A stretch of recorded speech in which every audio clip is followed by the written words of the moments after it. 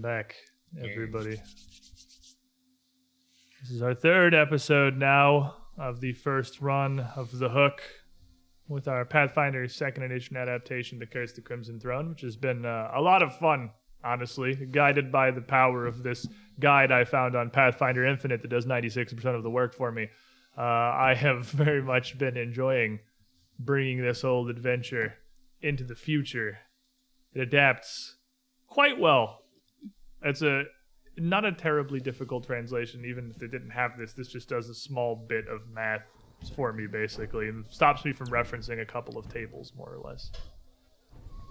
But brought together as five individuals seeking vengeance over a minor crime lord in the docks area of the town, you have brought low Gaedren Lamm. But your backstories, your horrible zombie growling, notwithstanding, as you emerged back into the streets of Korvosa, the city had descended into chaos. You had only been in there gone for maybe the better part of an hour, and you had, as you worked your way around some of the outer piers, heard maybe a little bit of the building of this, but it has crossed the threshold while you were dealing with Lamm down below. You can see smoke barely visible from the red glow across the skyline in the distance as the sun has mostly set by this point. You hear the clanging of the city's alarm bells, mashing with the clamor of steel throughout the streets around the west uh, or the uh, west docks here. Town criers shout above the chaos, carrying the news down from Castle Korvosa. The king is dead! Long live the queen! To which raucous cries, roaring boos, counter calls of Hang the queen! The usurper must die! Some of these crowds mingling through the streets, literal torch and pitchfork in hand, it has come to madness. As you emerged to all of this, what Korvosan guard may be in sight further down some of these roads, desperately doing their best to corral the chaos. A, a small detachment of Sable Company, mounted upon their hippogriffs, flew overhead, coming in from the east, beelining it back towards Castle Korvosa at the heart of the city. On their left flank, one of their formation uh, lists pretty heavily to the left, the hippogriff bearing a clear and apparent injury, and a brief light spray of warm red rain spattering across the street just a few feet away from the group of you. It starts to sink from this formation, losing altitude. The animal panics a bit further before losing control entirely, slamming into the side of a building just a couple of streets over, with a crunch audible from here. Mm. As we'd come out, I believe Darren I need to check on my father. immediately I I need to check on my father. Where can we meet up? We need to meet again. Uh, how about the, um? What what what, what, what about the the, the, the the fortune teller's place? I need to go. Yes, fortune teller's place. That's a good place. All right, to I'll meet you there. Uh, and running through the streets. Maybe maybe she'll know what to do. Maybe she'll have some information. She's dead. he had found What? her head in a hat box. You didn't forget she's a ghost, did What? you? She's a ghost? Sure, As head far was as in we the can hat. tell. Oh. that that that explains why I have her cards. You you did find her severed head in a hat box. Very He, clearly, huh? he, he, he, he did. He did. He did. But but he doesn't he doesn't want to think about it. He's not thinking about it. He didn't find anything. So, So, Floblin. Try to speak, you notice something seems to be stuck between your teeth. Maybe you should uh, check what is Dark Heart 1985. Oh, oh, oh, Hero hold on. point card for you. And while we're at it, um, speaking of the reversal trade. of fates, Me and Zerp are gonna blind trade. Okay, fair enough. Cold full. I'm coming for you. what? Hate that. All right, but four of you. I, I, Um, I mean, we can meet in the square. We, we, we're meeting at the fortune teller's we're gonna. place. You remember how to get to the fortune teller place, right? That's where we're gonna meet. I guess when. I mean, I got the sense, so yeah. Yeah, meet in the morning.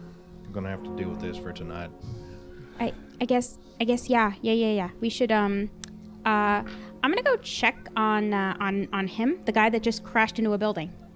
That sounds good. Um, I'm just gonna walk that way then. Um, is this typical for cities? I'm guessing not. Not exactly, Well, but really? while we're at it, I'm at least gonna check these guys in on time. No reason to leave them here with all this riding going on. That's that's fair. I'm I'm going to lie low because everyone's going to think it's my fault. I don't think anyone in the right mind was gonna blame the death of a king on a little goblin no one even knows about. I mean, to be fair, Of course. humans humans just look at me and they want to try and kill me. No one in the city's in the right minds, anyways. I, I guess I'm just gonna head that way back towards the fortune teller's place and see. This is very odd. Very odd indeed. Arden, You're just going you're, straight there. Yeah, I'm just going straight there. What Arden, when you're of you? done over there, I'll be back inside the fishery. Just meet Oh. me here. oh, okay, okay, okay. So uh, Reth heads back inside as John leaves the fortune teller's place. And Arden, where are you? I'm, I'm gonna go ch- check on the guy Oh, that just, going to check on the, the hippogriff that just crashed a little ways over. And Floblin is I'm going to uh, kind of sneak back into the alleys and uh, try to avoid getting noticed while the chaos is going. I'm going to disappear now. so as uh everyone kind of parts their different ways here briefly, uh, Rhett's got the shortest distance to go. You're just heading right back inside the fishery here. Yeah, you can't leave people sitting there untied at night with a riot going on. Yeah, you, it would be up. easy enough for you to get back in and uh you, you there obviously everyone's where you left them 30 minutes ago. No one's waking up or woken up or moved. Uh, Yargan behind his desk as you uh, undo his binds. Uh, what are you doing with him? Just untying him, but still just leaving him there? Untying, make sure they don't have any weapons, nothing like that. Any acids, specifically on this one. Looking him over. Uh, I think you've already taken the knife from Yargan when you looked him over the first time. Just Um, double checking, making sure there's nothing there could be dangerous with him and the gnome. He's got a uh, ring of keys on his hip of maybe about half a dozen, mostly fairly small. One larger, much chunkier, rough wrought iron one. Uh, but the rest of them looking like they probably go to like shelves or cabinets, probably throughout the building. Uh, as far as the acids are concerned, he's still got all these alchemical tools up on the table, uh, but you grabbed all of the things that look like they were finished product. So it's uh, a question of whether there's any more of it squirreled away, I guess. Uh, if you're quickly looking through the room, because he does have both the desk and the cabinet in here, you can find a couple more things scattered around. Uh, the large cabinet he had kind of on, on the opposite side of the door to the front area where his desk is has more of these alchemical tools in it uh, less of the actual glassware and kit and more of the uh, testing equipment and piping and, and things you need to, to rig it up. Functionally uh, alchemist tools or they're alchemist lab.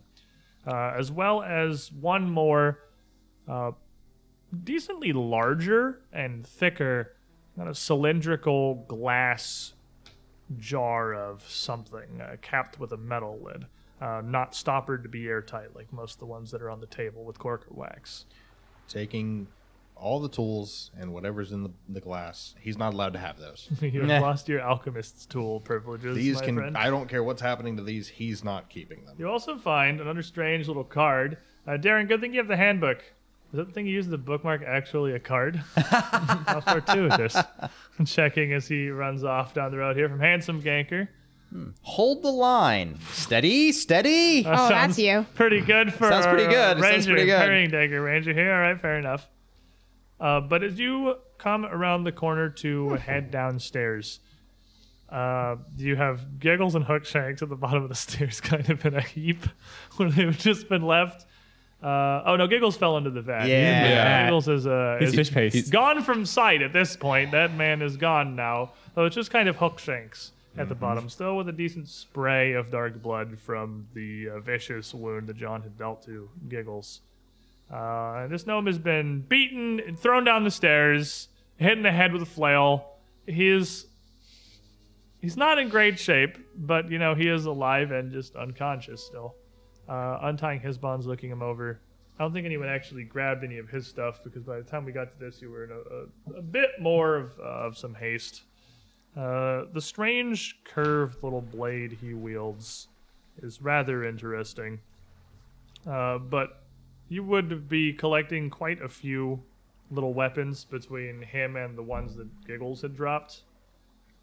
Both the gnome's kukri and Giggles' hand crossbow, and or, uh, sorry, regular crossbow and flail. The hand crossbow would be something that you'd gotten from Gaedren. Uh, but with that removed, this whole area down here has a whole lot of large pointy objects, pitchforks and the like that you can't carry all of them, and you can't really take them all out of here. But you can take the more dangerous, actual, actual weapons. weapons. of war away. As you're dealing with that, Floblin is dipping off into an alleyway here, just trying to kind of remove himself from the situation, trying to go somewhere where he's not going to be blamed for uh, you know bad things that are going to happen. I guess when you grow up as a like on, well, it wasn't didn't grow up as an on fire goblin. You just grew up as a red goblin and became an on fire goblin. You get used to people not really giving you the benefit of the doubt. so It's, much. it's not on the outside that counts. So you're dipping into some alleys Mm-hmm. here on the west dock. Uh, what are you had any particular direction, or just trying to get out of sight as quick as possible? Well, I'm gonna try and stay near the area of the fortune teller place, but I'm trying to just keep out of sight and see if, while I'm, you know, rummaging around in the alleyways, if I can spot anything out of the ordinary other than, well, the mad chaos that is going on, and see if maybe I can, uh, I don't know, find some things in between. Rooting around, trying to find the darkest, secludedest alley that you can to get out of sight, trying to find anything possibly useful. Uh, as you look through some things, you hear above you a small little clatter. Uh, it almost sounds like a wooden, like a series of wooden handles just gently tapping on the side of the building. Growing up in Korvosa and the kind of situation that you do, it's not something that is super uncommon to you.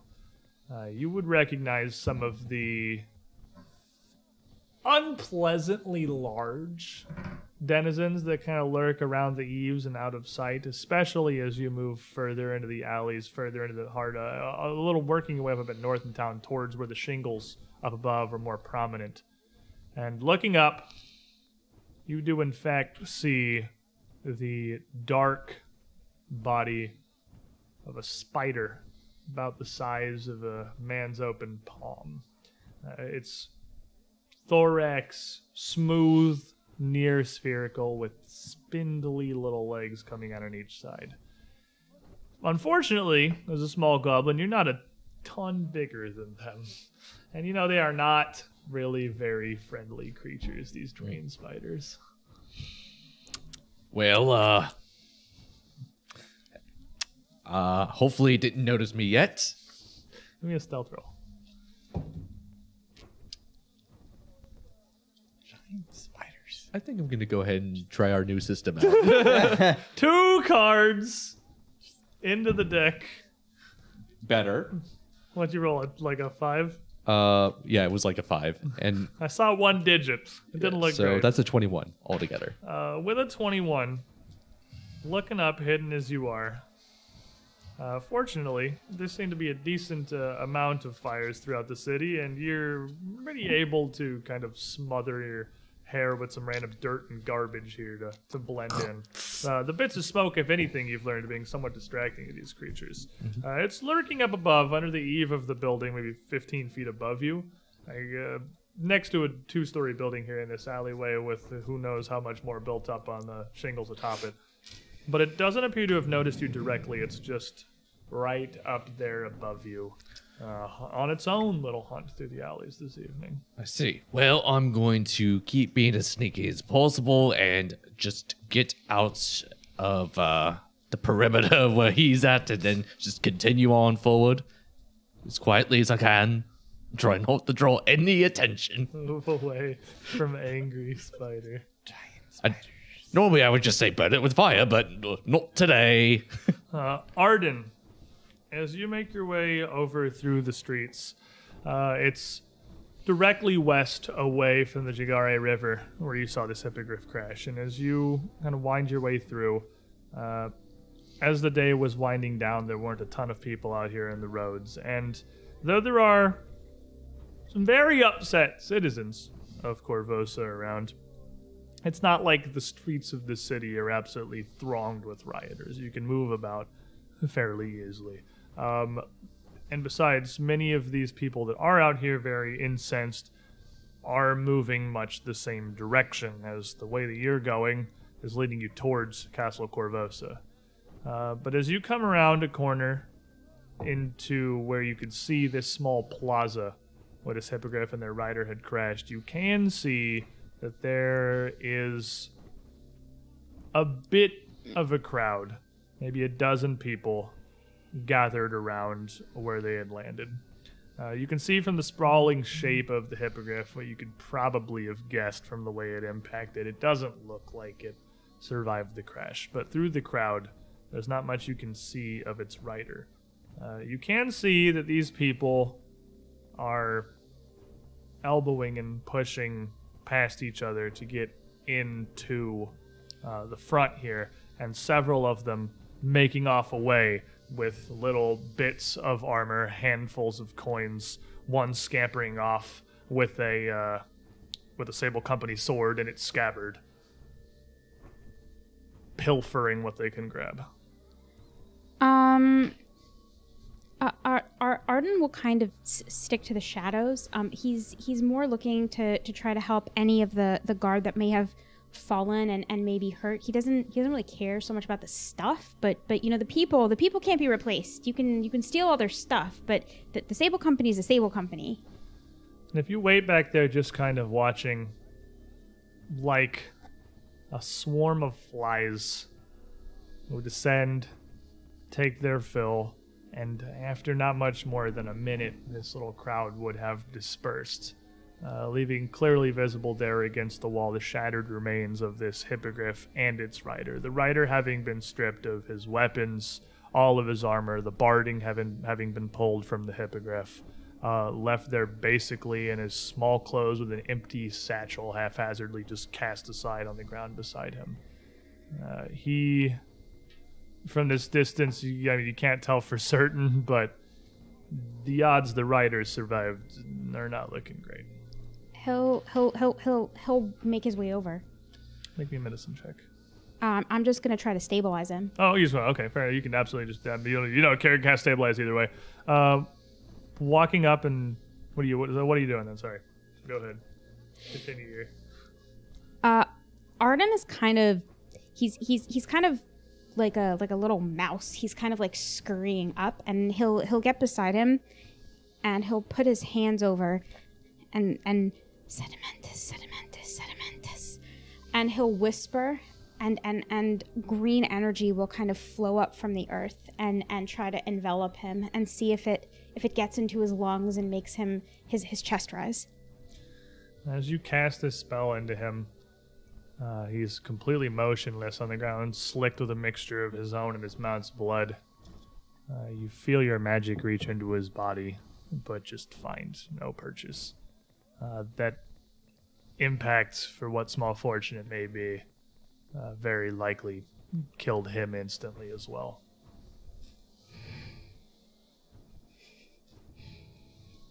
in Dwarvish, uh, he'll say a prayer for him, uh, consigning him to whatever Lord and afterlife uh, he believed in.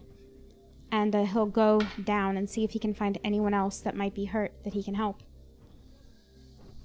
John, you move away from the fishery to the south, heading back towards the building where you had met uh, with the fortune teller previously, where you had been set upon this path in the first place by uh, Basilia. And uh, as you move through the streets down here, there's not a whole lot of crowds further south of West Pier. Uh, most of the people that have taken up arms, that have taken to the streets again, are moving towards Castle Korvosa or uh, towards like center, uh, more central meeting places and market squares. And this is sort of away from that. So it thins out a bit as you move. Uh, you would be definitely moving towards the emptiest part of the town uh, at, at the current moment, uh, but one that is not completely devoid of people. Some folk are still uh, trying to hurry back towards their homes. Some are some are making their way up from the south. A scant few are headed the same direction.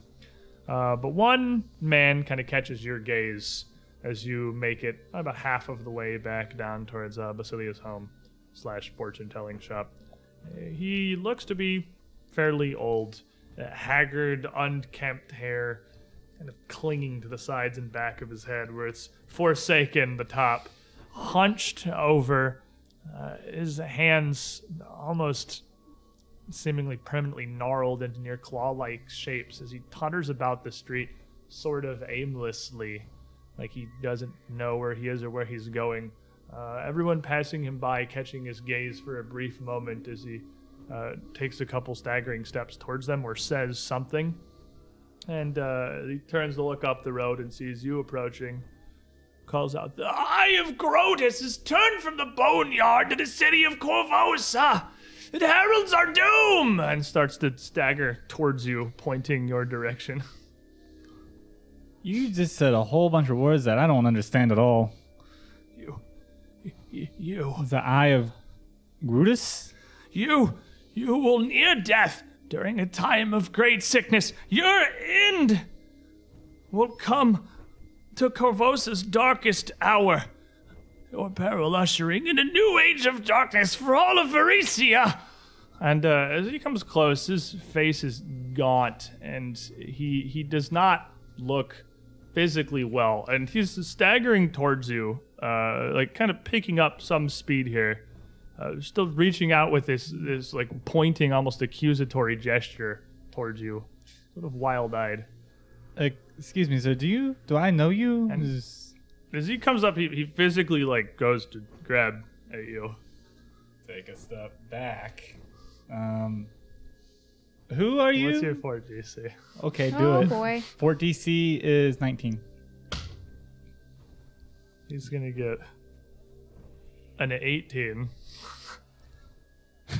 and as he kind of like reaches and grabs out at you, you step back from this. He is he is very much he he is locked on, fixated with you. And whatever he is ranting about, these words are like meaningless to you. He looks like he is clearly beyond sanity in this in this moment, but he's not breaking away. he's gonna pull out a copper piece and just kind of toss it to him. You, you toss him this copper. He doesn't even look down at it as this coin kind of just bounces off his chest. And he keeps like reaching out towards you. You don't understand. You must understand. You are the herald of Grotus. Unwitting or no, you bring this doom. Your heart be tied to that of the city and the lives of all of Varisia. And reaches out to you again, Oh He's god, just- money doesn't work. trying to grab But capitalism is a nine. powerless. With a nine, he's uh, kind of losing steam here a little bit. The herald of is Grotus a god? Is he a devil? I I I don't have time for this. I'm sorry, sir. If if if you don't need my help with anything, I'm just gonna I gotta go. You can you can push past him fairly Yeah, easily. He's, he's a pretty frail old man who can just kind of go around. and He sort of staggers after you for a bit before losing interest and turning back to his ravings in the street to anyone who will listen uh, as you make it back to Basilia's home. Uh, Darren, where is your parents' house? Where would you be going? Is that is that something you need Corvo? Would you like a recommendation, or is that something that you, as the player, know enough about Korvosa Uh, answer intelligently? so I made a I- I made a decision on it when you showed me the map, and I don't exactly remember the name of the district I picked. Is it Uh, High Bridge? It's possible. Uh, so um, Darren, uh, Darren's uh, father is actually a coppersmith. Uh, he work he he craft. He's a he's a tradesman. He makes uh, makes and repairs pots and pans and uh, also uh, some ac- some alchemical work. Uh, makes some dock work pieces uh, that are resistant to to rust. Okay. Um, and so that's that's kind of how he makes his living. So he would be a a decent, semi well off tradesman. Copper's not Semi well off resistant tradesman. It Uh, it how doesn't long rust. Has he, how long has he lived in? it Korvosa for? oxidizes. um, he's lived in Korvosa for Like, how long um, your family lived in Korvosa? uh, probably for quite some time actually. So Uh, it's not just like he moved here. He like generations. Yeah, yeah, no, no. He's been here a while. His great aunt is actually like native Varisian, who like you know, told him old crazy stories and stuff, and so it's like he's he's he's been around. His he, his family's been here a long time. Okay. Um, so it's very possible that I would say most likely you would probably live in uh, Pillar Hill or Highbridge on the southern end of the city, uh, the southern end of the Midland district. Uh, Highbridge being the district where the like the Sable Company headquarters or the training facility and, and everything actually is down there. And they're both kind of near Citadel Volshyenek, where the, uh, the Korvosan Guard stand. Okay. Most of the like uh, most of the higher tier blacksmithing work, if he is decently well established, is going to be commissioned by the city, uh, largely for the Sable Company or the Korvosan Guard.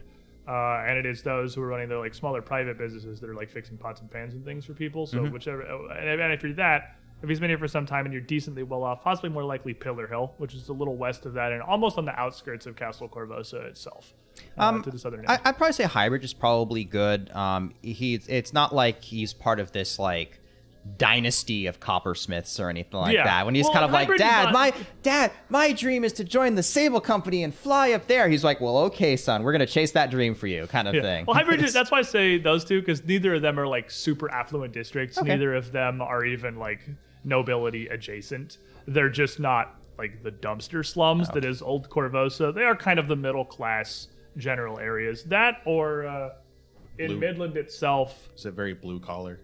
Yeah, yeah, they're probably the, the blue collars. Midland itself, um, possibly even up towards Northbridge and Five Corners, but that, that's mostly like your your low rung politicians and uh, yeah, uh, people who are fine. working more like municipal kind of business. So, up to be you? We Highbridge wanna is go with. Highbridge? Yeah. We're going with Highbridge. So you're working your way down south as well. You would have taken off in the same direction. You would actually have run pretty much right past the fortune teller's place, um, heading down south on the main thoroughfare towards Highbridge. Doomsayer. What? Did he see the Doomsayer? He ran. He got. He was. He just booked it through there. For he was some gone. crazy man Just screaming. going Dude, focused. unlike Nothing you, noticed. I probably not know who that guy is. Actually, I'm, like, I'm gonna give old man. oh, that's in a old. Greg. Don't yeah. worry. Going past the fortune teller's place, like, hmm, yeah, hmm. Well, I wonder what that building is. Couldn't possibly know. It's not haunted or anything. Don't want to. But uh, making your way down, I did to say we were gonna meet at the haunted house. That literally is what happened. Yeah, I'm not sure why we did that. you Spooky. Because we make good decisions. We'd make good decisions. you booking it down this road um, would also find yourself much more in the clear, and you're following. You can follow the primary avenue, uh, one of the most. Uh, th- there's basically four roads that en- emanate out cardinally from Castle Korvosa. Cardinally from the castle, which is kind of askew, so you're like northeast, southeast, etc. Uh, and those wind their way through most of the core of Central Korvosan. So, uh, or Central Korvosa itself. So the road that you're on would merge with Southeast Castle Road after a few hundred yards. Uh, in one of the largest plazas in the city. Here, you would come to your first in, uh, uh, view of the growing mob, uh, where there would be a large assembly of very unruly and upset townsfolk, uh, wielding whatever tools or weapons or implements they could find, scattered torches throughout the crowd, facing down a, a line of Korvosan guard, uh, woefully unprepared for civil unrest such as this. Uh, standing shoulder to shoulder as well as they can, their narrow kite shields not really lending themselves to your kind of Spartan interlocking wall, but blocking off where Southeast Castle Road proceeds directly towards Castle Korvosa. From here, you can look down that road and see the entire quarter mile stretch to the foot of the citadel itself. Uh, and that is where the guards have drawn their line. A chant of "Hang the bitch queen! Hang the bitch queen!" is uh, broken out from the crowd here. And as you go to move past this, a couple of those towards the back. Uh, obviously, you are, I imagine, in quite a hurry here. Yeah, yeah, I'm sprinting. How's uh, Darren dressed at the moment? Oh, like a like a Sable Company train. I'm, wearing my military uniform. You're in yeah. military uniform. I am. aren't? Yeah, yeah. Uh, And as you go, you would find yourself stopped by a couple of larger men and women who just sort of moved to put themselves in your way a little bit. Uh, some of their attention and ire turned your direction. I don't. That's a nice outfit you got I don't suppose you're you're here to congratulate me for my service, are you? One of the men up in the front there, who uh, massive knob nose, a dwarven man, He's pretty tall for a dwarf. Uh, what would be looming up to four and a half feet for him, and nearly as wide as he is tall, built like a refrigerator. Um, open wooden torch in one hand, nothing in his other one. Uh, drawn about in dock workers' leathers, quite simple looks up to how tall is it's probably up to you. You can't be that short. I know you're like 16 like we've covered. How tall is Darren? He's Is he- really tall. Okay, like yeah, he's you- like he's sprouted. You're, uh, like you're not a super late bloomer or anything. no, no, he's like six foot two. Yeah, He's like really as tall. tall as I was when I was 16. yes. Looking looking up to you holding this torch here. I you forgot your chicken, boy. What are you doing out in the streets this late? Right. You don't look like a guard, and you look like you're very busy riding right now. I'm gonna leave you to it. And they're they're kind of as you say that you realize sort of massing an almost secondary mob back here. The vast majority of people are still up chanting "Hang the bitch queen" at Yeah. a lot of Korvosan guards, but those stragglers in the back have started to turn their attention your direction. Oh wait a minute, boy, where you going so fast? Ain't your business supposed to be at the castle? Long live the queen, aye? Right. Um, Darren's gonna look around, and then he's going to run to a roof and just haul himself up on it. Make What are you gonna do down there? make me an athletics check. Oh, you're good at these. I'm decent at them. Uh, that's 17. You're decent at them. 17, you kind of look for a break in this crowd and sort of move, uh, make take your opportunity to just bolt out uh, the short dash towards the edge of the square, jump up and grab an awning and pull yourself out of uh, out of view. And another one of the crowd, uh, woman yells up after you, well, "Running from the prowlers of Korvosa, you can't do anything but protect the queen!" And uh, some jeers and yells coming out from this crowd your direction as a couple of rocks and Please file a complaint with the local garrison, Thrown and up your your alderman will take it up at the neck. God. uh, and uh, I'm gonna just be on the rooftops for the rest of my journey. Well, the shingles definitely don't extend this far south, but that doesn't stop you from a much more uh, traditional kind of clandestine hop across these. Uh, as long as you keep yourself out into the main boroughs, the buildings are certainly close enough for you to fairly easily get a scramble across the top. And uh, free from the ramshackle mess that is the shingles itself, you don't have to worry about the chokers. So that's fine. I don't know what those are, and I hope I never find out. Good news, we're not in the shingles. up. Woo! Uh, one thing he, I will be looking for actually is if there's The like a convenient laundry line that's set up, maybe a sheet I can grab to kind of disguise my very obvious military Oh, uniform. oh, I thought you were gonna be a ghost.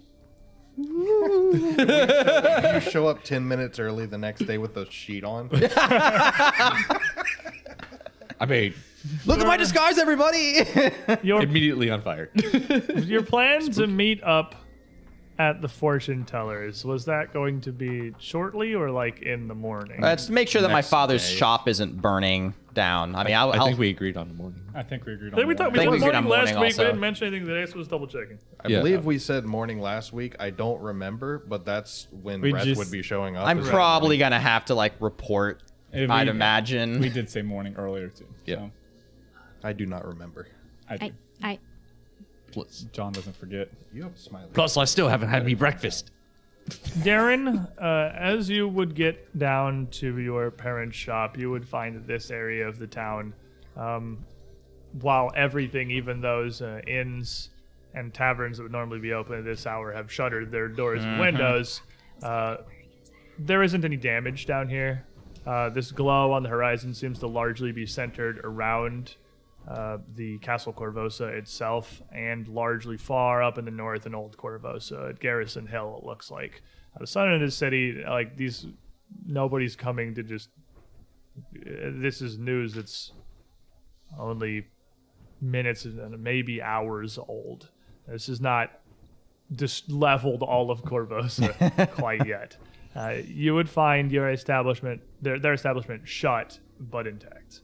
Uh, Floblin, you would be able to keep yourself relatively safe and concealed in the alleyways of the city here in Reth.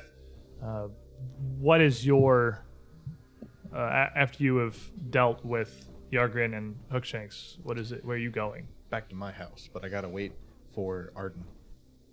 I imagine you would you would meet back up with Arden uh, fairly shortly after. Uh, much of the business and the mob throughout Eastern Midland here, uh, moving along, trying to make it closer to the castle itself.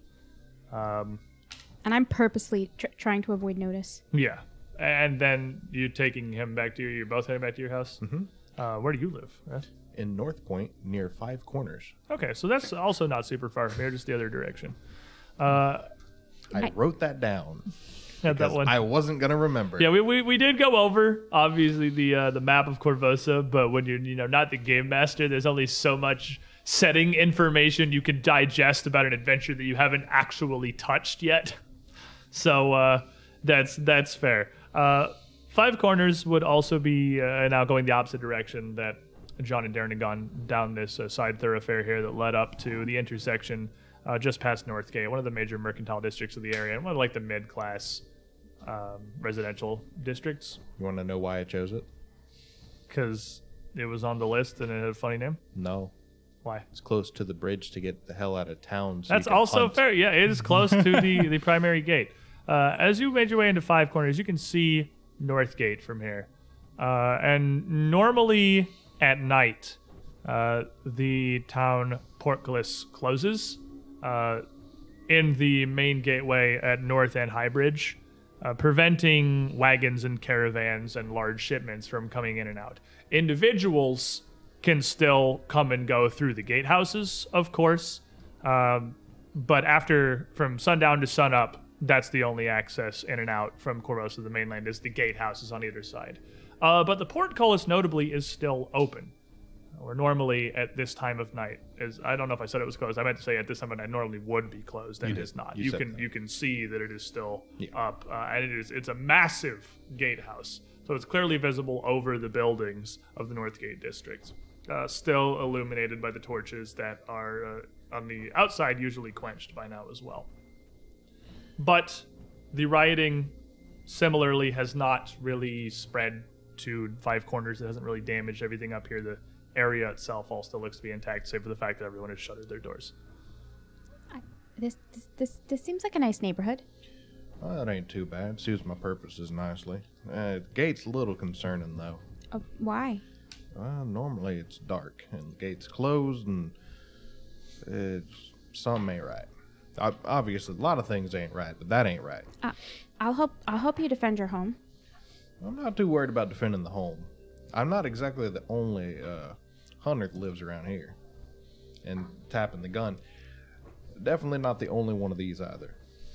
Having a pretty large gun would probably make it fairly easy to move through the streets too. I imagine most of these like torch and shovel wielding commoners probably are like, "Oh, you have a nice day, sir. I'm gonna go right over there." Like, Well, I mean, I'm clearly dressed as a, a normal commoner. I'm not wearing yeah, you're not eh, in like Company same Marine. company outfit or anything. and I've you- got a gun. Mad at the government. Hey. But you two would make it back to Walking Rats- past people like "Viva la Revolution." That's how John, uh, after your ordeal, you make it back to uh, Ba- uh, Basilia's home. I cannot for the life of me remember her name, and I don't know why. I have it written on a paper right in front of me for this exact reason, because I have to look every single time. Basilia. You make it to Basilia's store, um, where it uh, looks much like it did as you left it. Uh, notably, the windows, while they are still shuttered from the inside, uh, are not really like sealed. They're a little ajar, and the, the door is just kind of hanging a little loose in its frame, also, uh, slightly angled inward. I'm gonna knock on the door. Hello, is anyone in there? No response. Push it open and walk in. Inside, though you had only been here some scant few hours ago, the view is completely it ends with what you had seen earlier this afternoon. Uh, there are no brightly colored rugs and tapestries. No incense smolders in the holds uh, in their uh, braziers. The inside is dark, unlit, and even in the threshold, the doorway here, with what light bleeds in from the street, you can see that layer of dust near half an inch thick seems to lay across everything. It looks like nobody has been in here for weeks. That don't make a bit of sense. I don't understand anything that's happening in this city. Just ghosts. All of a sudden, this place looks like it hasn't been touched in weeks. Just I'm talking. He's talking to himself, ranting this entire time. Just walking around and looking. It's like, oh, Inside, He's the- totally yeah. sane. in the home. Yeah. perfectly normal person. yeah. It turns out he got the wrong house. He's next door. As you are work, uh, looking around the inside here, uh, where you can see some of the furniture has been just sort of cast aside. Uh, a set of drawers in the corner has clearly been rifled through by looters who were not very kind to the room. Uh, one of the drawers pulled out entirely and just cast aside, broken on the floor.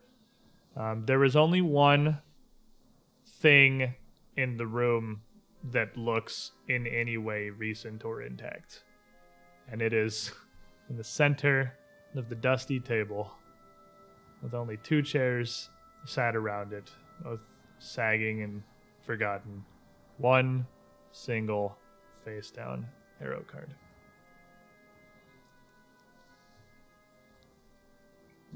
Oh, now you're haunted. Now I'm haunted. Flipping it over, you see again the keep. Uh, the same card that you had found that had guided you here in the first place. The writing from its back gone. No signs that it had ever had any alterations. You know, would have been kind of nice to actually have met you in person instead of just talking to your ghost. Um, well, John, I'm very riled up and very energetic. I have nothing better to do in my night. He's just gonna take off his armor, set it down somewhere, just kind of grab out an empty rag and just start kind of dusting stuff off and cleaning up the place. like I have nowhere to go. I have no. I have no John's sleep staying at. in the spooky ghost Yeah, house. John stays. Might as well make it presentable. Might as well. Might as well clean it up for. You. We're gonna have a nicer spooky ghost Yes. house. Uh, so, Floblin, I honestly, your night is probably the most normal of anyone's. that's This that's is- frightening, sir. Well, as far as you're concerned, this is you just you're doing what you do every day, skulking about back alleys and eating garbage. Uh, what are you looking for? What are you after? Where do you go uh, when you do eventually feel safe? And do you have a place that you return to tuck in for the night, or whatever dumpster looks com- most comfortable? The city Well- was rioting. they were chanting for the head of the queen, but for me, it was a toil day. anyway, um, well, after I, you know, lie low long enough, and I feel like the chaos is dying down just enough, just enough for That me is to. not the direction the chaos is going. yes. Well, As you uh, spend some time back in the hours, the alarm bells would stop ringing maybe a half hour later throughout the city, but you would still hear the clamor of steel and the shouting of Oh. the mob for hours. In that Uh, case. if anything, it only seemed to be intensifying. well, in that case, um, I'll probably be uh, after I, you know, had a quick snack and then, you know, just And some giggling. Someone's cackling. In the apparently, distance. Someone's um, having a great time riding. well, Queen. it might be. Um, so what I'm thinking I'm gonna do is uh, Well, if if I feel like I'm safe enough, I'm gonna try and find the nearest dumpster to uh, the fortune teller's house, and that's where I'm gonna stay for the night. Work your way back over, climb into a nice metal trash can, and wait till this all blows over. Um, I, I, hey, hey, hey. Um, um, I'm, I'm counting, I'm counting the cards, and I'm counting the cards, and I'm looking through the cards, and uh, the cards were all there, and uh, now they're not. D- do you want to explain to me why that's true? Well, I would assume it's haunted. What do, what do you, what do you mean? What do you mean? They're just, they're just cards. They're really nice cards. I mean, I like them. They kind of speak to me a little, but I, why, why, why should there be one less card than there usually is? Because it's haunted. It's a ghost. the one character in the horror movie with any sense. It's a ghost. It's gonna do what it wants to do. I can't do. I have a gun, not a ghost. I don't. I don't have answers. I have a gun. I feel like Put that on a I don't have answers. I have a gun. The tagline of every gunslinger. Put that on a t-shirt and wear it. sir. Shame. Anyway, what's the CR for this fight? I gotta. There's actually large bore modifications for guns. so, what's the CR? Oh, it's above a 10. Bigger gun. Same gun, bigger barrel. you like the Elmer Fudd shotgun. Uh, I guess I will. Knowledge religion. Is this something I think that a ghost might do? Because if it's I don't think that's a knowledge religion. I don't think that you have never encountered a ghost. I correct, mean, have I you- heard stories of this You've kind of heard stuff? stories of all kinds of stuff happening throughout Korvosa. There are a great number of uh, people. uh, How many freaking SCP stories have you actually read on the internet? Now translate that to living in Korvosa, and probably you've heard something similar. Yeah, there are a great number of stories out there. Um, but as you're having this conversation, Reth, what's your uh, like? What what is your, your house? How do you live? Where are you and Arden heading back to? Probably just a um, nothing super fancy. Two stories, but not a large two-story house. More like kind of like how two-story apartments are set up, and he lives on the upper half of it. So he has his own area, own location, just in a house that used to be a shop, and it got turned into two separate houses. No, enough. nothing huge, but it's it's not bad.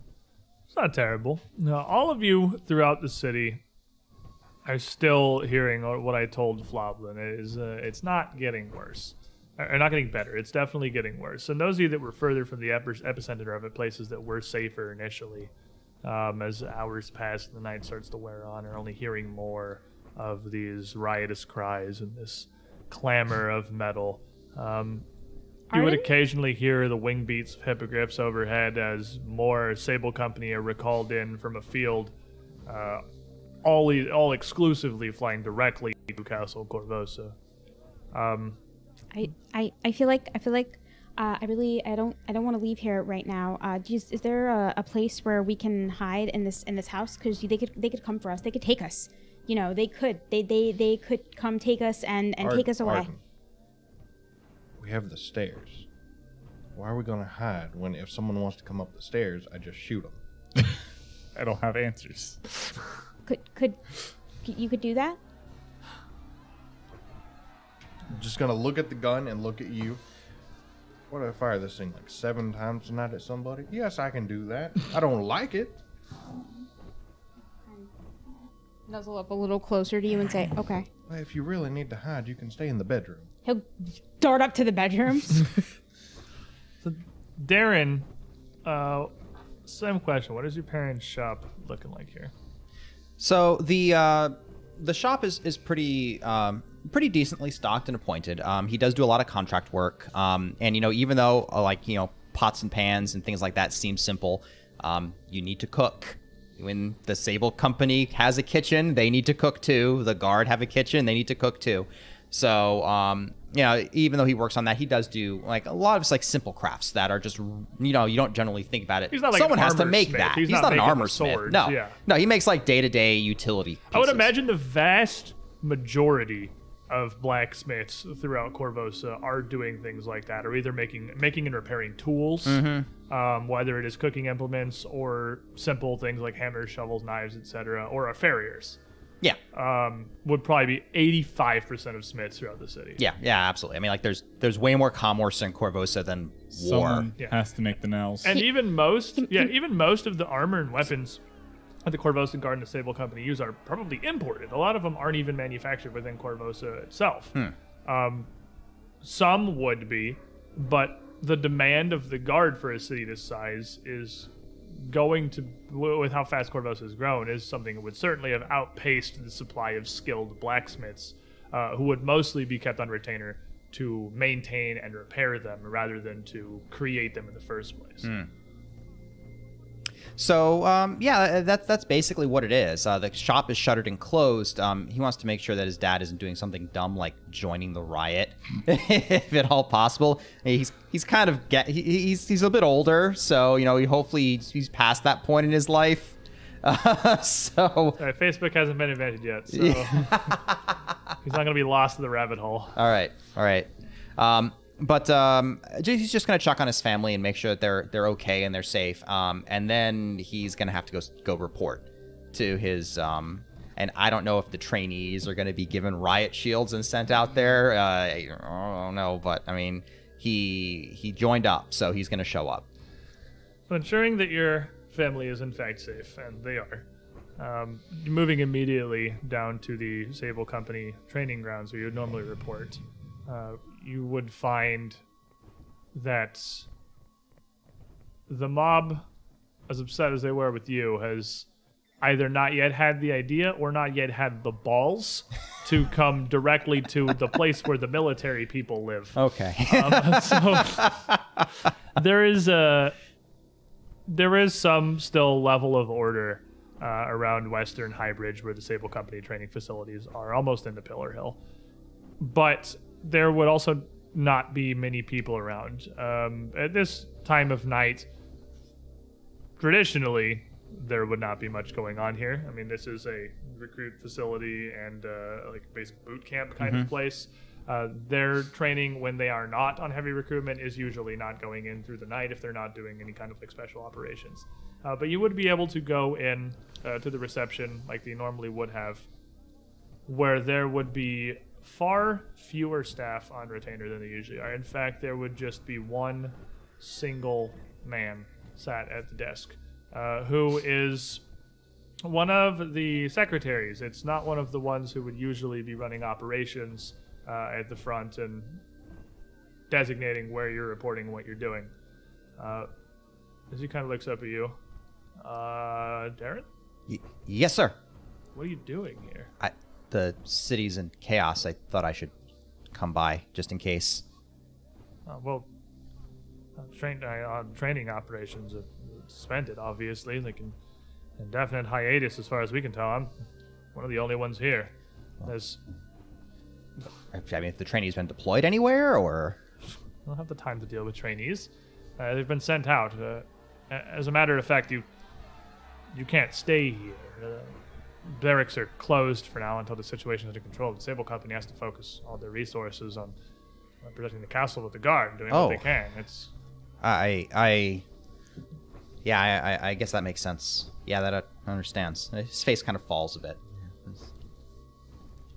Um, I guess if, I guess if you don't need any help with anything, And you, you can tell as, you're- as you're looking at this guy here, uh, you you've you usually would not like work directly with any of these people, so he would have your name from like the fact that you show up on papers and you're here. But he's not someone you might very possibly be somebody you've never actually talked to before.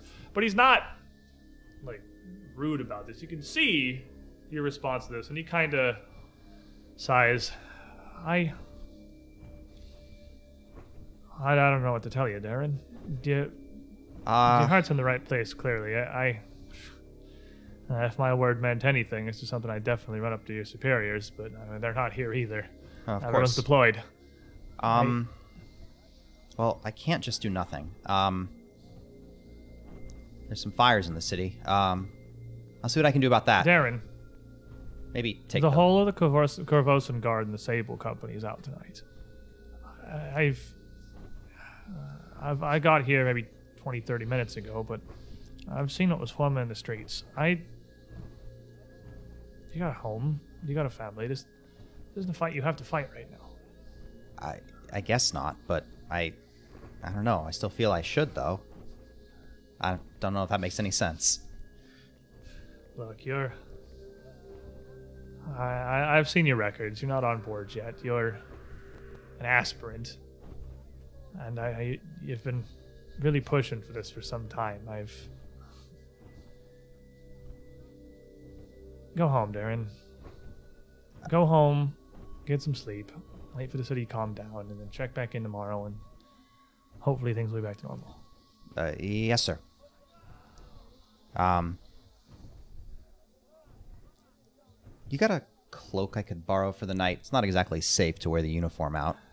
quartermaster's out, so I don't have anything I can uh, officially give you. But yeah, hold on a minute. And he uh, he stands up and heads back into uh, the back room and pulls out uh, what would be a very simple, just like gray traveling cloak. It's got the city symbol of Korvosa on the back, but it doesn't have any of the Sable Company coloration or their logos or anything. Turn it inside out. Yeah, It's like a like- cool leather jacket. That's- I mean, realistically, like have. any courier could even be wearing one of those. It Yeah, it, it, it doesn't like it ties you to It like could be something any government employee in the anti-government riot. or you could just be repping your city. I don't think that the average citizen is going to beat the mailman they see every day. Weird things happen in riots. I mean, Letter But- carriers are always the first to take it in the teeth. It would be easy enough for you to invert and just be a humble gray cloak that you could draw about yourself, and uh, meant largely for rains, definitely would obscure your attire. all right. Uh, well, stay safe then, You too. and uh, he'll leave. All of you, wherever you return for the night, would find little that you could really contribute, or obviously nothing you can really do for this. John's cleaning up Basilia's shop.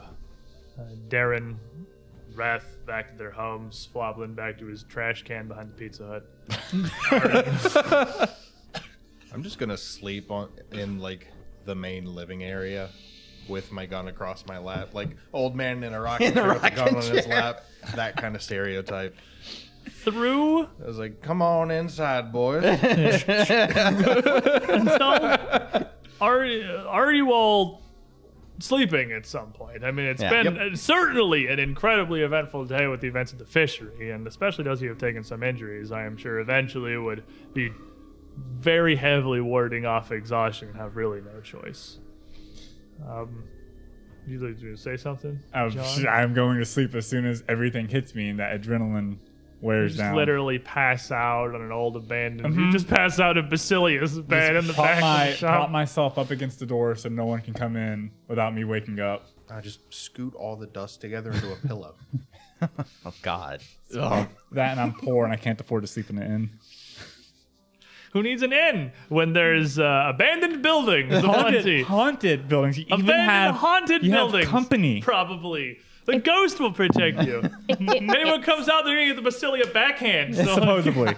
supposedly. if you That's negative energy. You don't want that. no, you don't. I'll read your fortune. It'll be bad. it's all the bad cards. Oh! if, if, if, Aggressively harrowing. Your fortune says you're spooked. but if, if he has a closet, that's where I am. If he doesn't have a closet, if he has a bed, I'm under that. I'm a hundred percent positive that there's at least one closet in the house. That's where I am. you would all awaken the following morning to uh, what would at first sound a day as normal as any. Falling asleep to the sounds of shouting and rioting, with the night past, it seems like so too has the worst of the chaos.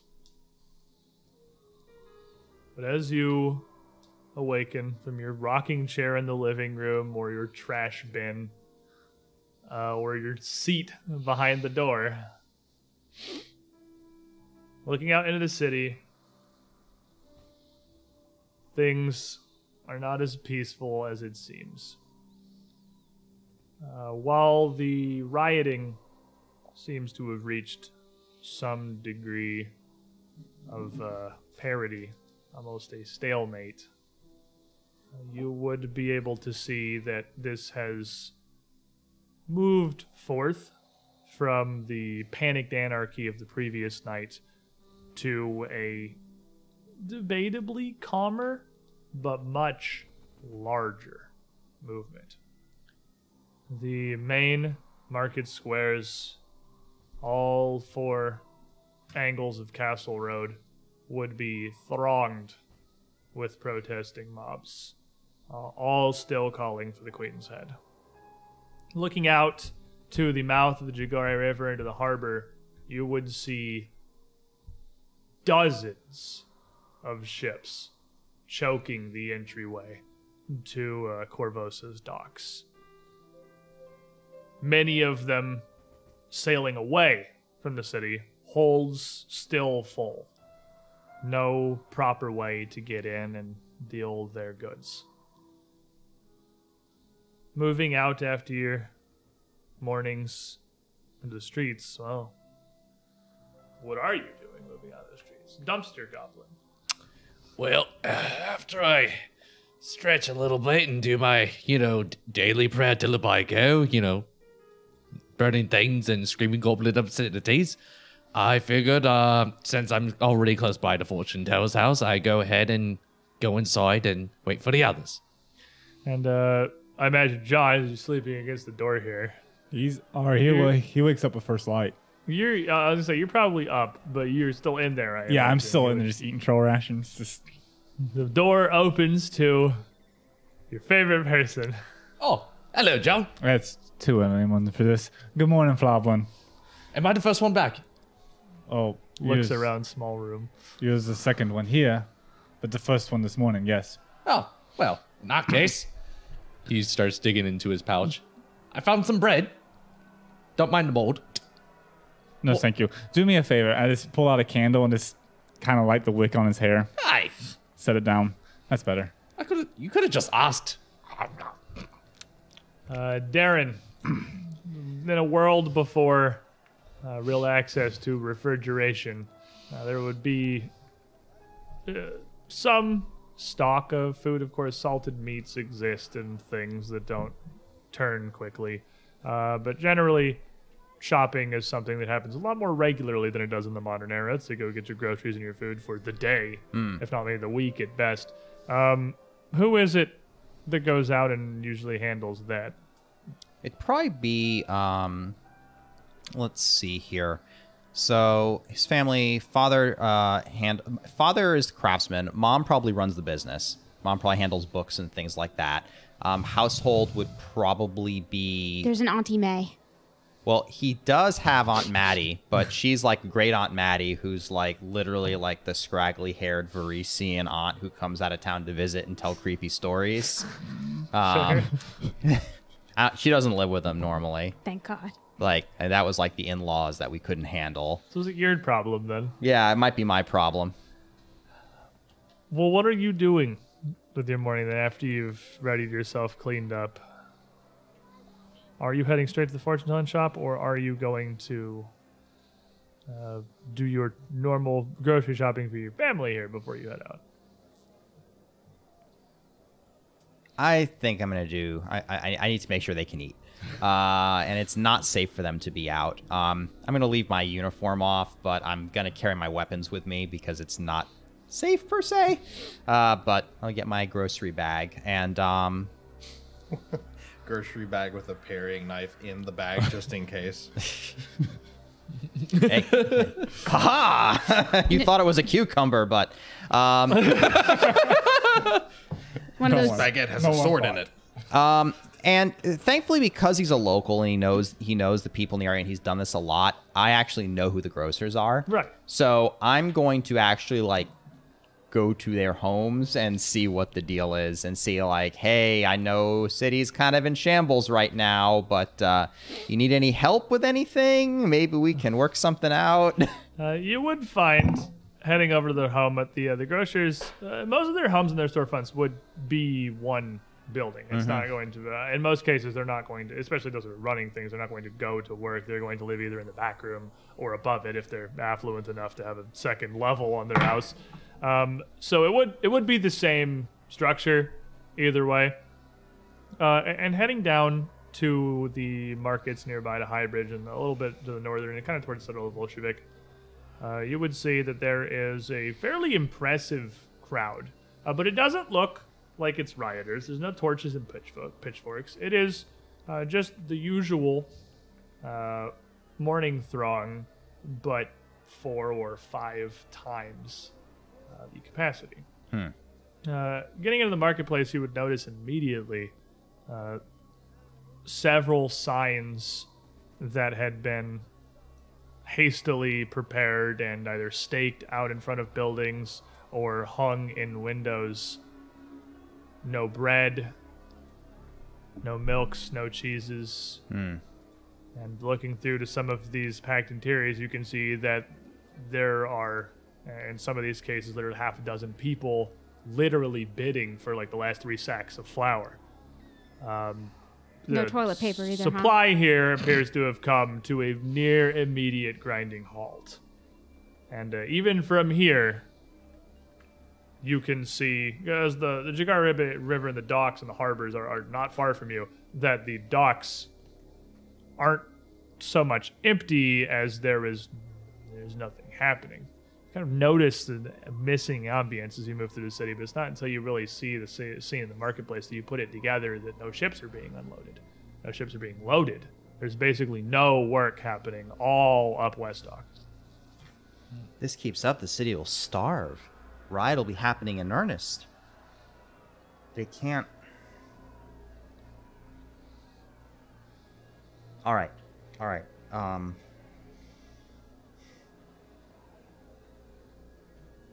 I need to talk to. I need to talk to Donovan. Um. All right, so I'm gonna look for Donovan, who's the grocer. And I'm not trying to buy from him because it looks like he doesn't have anything left anymore. But he's been in this town a long time. He's a grocer. He knows people. I want to talk to him to see if he knows anything about it. So basically, Darren is seeing all of the food is here. They're on the ships. We just need to get them off the ships into the city. But no one is unloading anything because apparently the longshoremen are all too busy riding. So something needs to happen. So uh, you head back to, uh, and there would be a back entrance to uh, Donovan's shop here to his actual home, and like it would be the same building but a back door. Uh, heading back there and knocking, Donovan is trying to deal with things up front, but his wife uh, would open the door for you. Uh, Darren, Esmeralda, look, the city's gone crazy. I, I see what's going on you don't here. have to tell me this. It's You- clear as day. Look, you, you keep all of Donovan's books, just like my mother. Uh, do you do you know any of these ship captains? Do you know any of these people down here at the docks? We have to get that food off the ship, so the city's gonna go crazy. You, you ain't seen, you ain't heard. I, look, we sent Amin, uh, which you would know is her son. He's uh, 1920, a couple years your senior. I sent Amin up to the docks to try to check things out this morning. The problem is no one's, no ships are getting in. All that uh, these ships all moored up here, the ones from yesterday. No one's left, no one's entered. All the stevedores up and quit, and the dock masters have nowhere, nowhere to be seen. Northgate didn't even close last night. This is crazy. All right, If you head Look, up we're- there, we're not, not- too far, you can see from yourself. Uh, Amin tells me there's a throng of ships at the mouth of the river. They can't get in nor out. Half of them are turned around and taking their goods back to sell elsewhere. so we just need to get people. We just the goods are there. They're on the ship. No one can unload them. No one can unload them. No one can get them to the docks. What's stopping them from getting to the docks? No one's working the locks. No one's working the bridge. Even if we got them off the docks, how do we get through the streets here? Hey, I hear West Docks slipping fast. It's fortunate uh, we're south enough that uh, certainly spared the stories I heard through the morning. Amin, Amin knows how to run a stand, right? Uh, well, uh, yeah, of course you can. What if we we just need to get the food off the ships? Amin could sell them right there. People would come and buy it. We could keep the ships moving at least a little bit. keep the food a little bit. Darren, you ain't hearing me. The ships in the uh, in the docks here, the ships that got in the river, they ain't got no food. They unloaded yesterday. Then what do they have? They have the they have the exports. They have the steel, the hides, uh, the rope that was all meant to be shipped out. No they were taken it. back to their home ports. Oh my god, what a mess. I never studied any of this. I've got some friends. Maybe they'll know something what to do. Look, this ain't the first. Hell, this ain't even the first time that I and Donovan have lived through a curse the Crimson Throne grip in the town. This is well, a fair sight worse than it usually is, truth be told. We've weathered it before. We'll weather it now. Well, I mean, what can we do though? I mean, my my Right family now- will run out of food in a couple of days, you and everyone else's family will as well. You keep stores for this, I imagine. Uh, normally, it don't. it normally don't go much further than uh, a few days at worst. Maybe I'm just overreacting. Look, I know you're you're an excitable young lad, and you're you're always looking for ways to help, Darren. It's it's a brightness about you, it is. But this is why this is why we keep storerooms. All right. This is what the tack and the meat is for. Ah, Just right. and she and she kind of hits you. Says exactly the same thing I told you last night. Just go home, Darren. This doesn't seem right, but all right. All right. Um. Thank you, Esmeralda. You take care of yourself. Good, good checking in. And uh, Has everyone gone crazy? Is it just me? I'm, I'm, he's just gonna kind of wander his way over to the fortune teller shop because this is blowing his mind. how about Arden and Reth? You uh, emerge ready for the morning. Well, the good news. I was ready for this one. About a month. You a prepper? Not so much a prepper as someone who's Prepared. dealt with this before. Yeah, it's it's only been like 20 years since, uh, which has been the longest stretch in the monarchy's history without this happening. But this is, you've been through it before. You can see what Esmeralda does as well. Uh, Darren can't here in his youth. This is, this is bad. Um, but Well, it's not preparing ahead of time. totally I, unique. I would have had about enough food for myself for about a month. But I reckon if I'm sharing it with people, maybe five, six days. If that, because I got other people around the neighborhood. Y- y- you know, if, if if you need food, there's, I mean, I'm not really supposed to do this, but the the, the druids keep stores. We we Well, I can just hunt. That ain't no big deal. but but what I mean to say is we we do we have places that that, that we can go where where we keep things. You can only find it if you know you know druidic because we leave we, we leave signs everywhere but if, if we needed to go someplace where we could get something specific I, I i can do that I mean, if we need to. For now, we got everything we need here for at least a few days. i But it is quite concerning. It, based on what I've seen in the past and what I've heard in stores, this was pretty aggressive. It ain't normally like this. can, can, can the ships can't get in right I would assume that we could, From your position in Five Corners, you can see that. Yeah. Um, you can see up in the north section of the Jeggare River where usually the day's exports are heading out and the imports are coming in, and there are zero ships. we're seeing a whole lot of ships stopping and just leaving. No, no one's even getting to this point of the river because Oh, they're like they're coming bad. in. You can't see the mouth because the mouth is out past Or- Old Korvosa and Oh, yeah, Garrison 'cause it Hill, which is pretty large and obscuring. snake. Right. Um, but you can see the part of the river where they're moving from the mouth to the docks, and there are some piers and docks in Old Korvosa, but most of them down in West Dock south of you. You can normally see some ships moving around the North Gate and North Bridge, and there are none. No ships going either direction. So basically, there's still noises. The city is still acting, but the life of the city's not there. Base, mo- yeah, kind of. Yeah, that's that's not terribly inaccurate. Is- Uh, what you would definitely see is you head outside. Um, headed where? You headed right to the fortune teller shop. Yep. Waking up, getting ready, heading out. You- this is conversing on the way. Yeah, you would live not too far in Five Corners from one of Korvosa's many banks, uh, all run as many banks are throughout the world of Golarion in the name of Abadar. Uh, but the Bank of Abadar, which is a fairly large, imposing building, uh, flanked with massive marble pillars, it is as much uh, an act of deific obeisance itself as it is a functioning uh, commercial property. You would see that its huge wooden doors at the front are closed, and there is a literal, gilded gate sealed across the front of it, with out in front four massively armored knights wielding huge crossbows, just standing in front of the gate, watching the traffic moving by in the road and the roads. So they're not like actively being harassed. No, no, they're absolutely not. No, I, like But- the building, like the structure. No one's really directly messing with it. They're just there to make sure it stays. Right, and, and these guys are in absolute full plate. You cannot see one single part of any of them. They look like four identical automatons uh, with nothing visible but an array of those small holes cut in their lower visor, and they have like the slit vision on the front. This huge, heavy crossbow uh, in each of their hands as they make minor turns to watch the crowds passing by is really their only motion. Y- you know, uh, does the city, does the the docks, do they run on a lock system? Well, the only thing I know about the docks, honestly, is that boats come there. I never go out there. It's the opposite direction of where I'm, my interests are. Oh, I, I, I, I actually, uh, the the locks, the lock system, uh, is is is interesting. Um, I wonder if Darren knows anything about it because if we could if we could get that going, we might we might be able to get the ships in.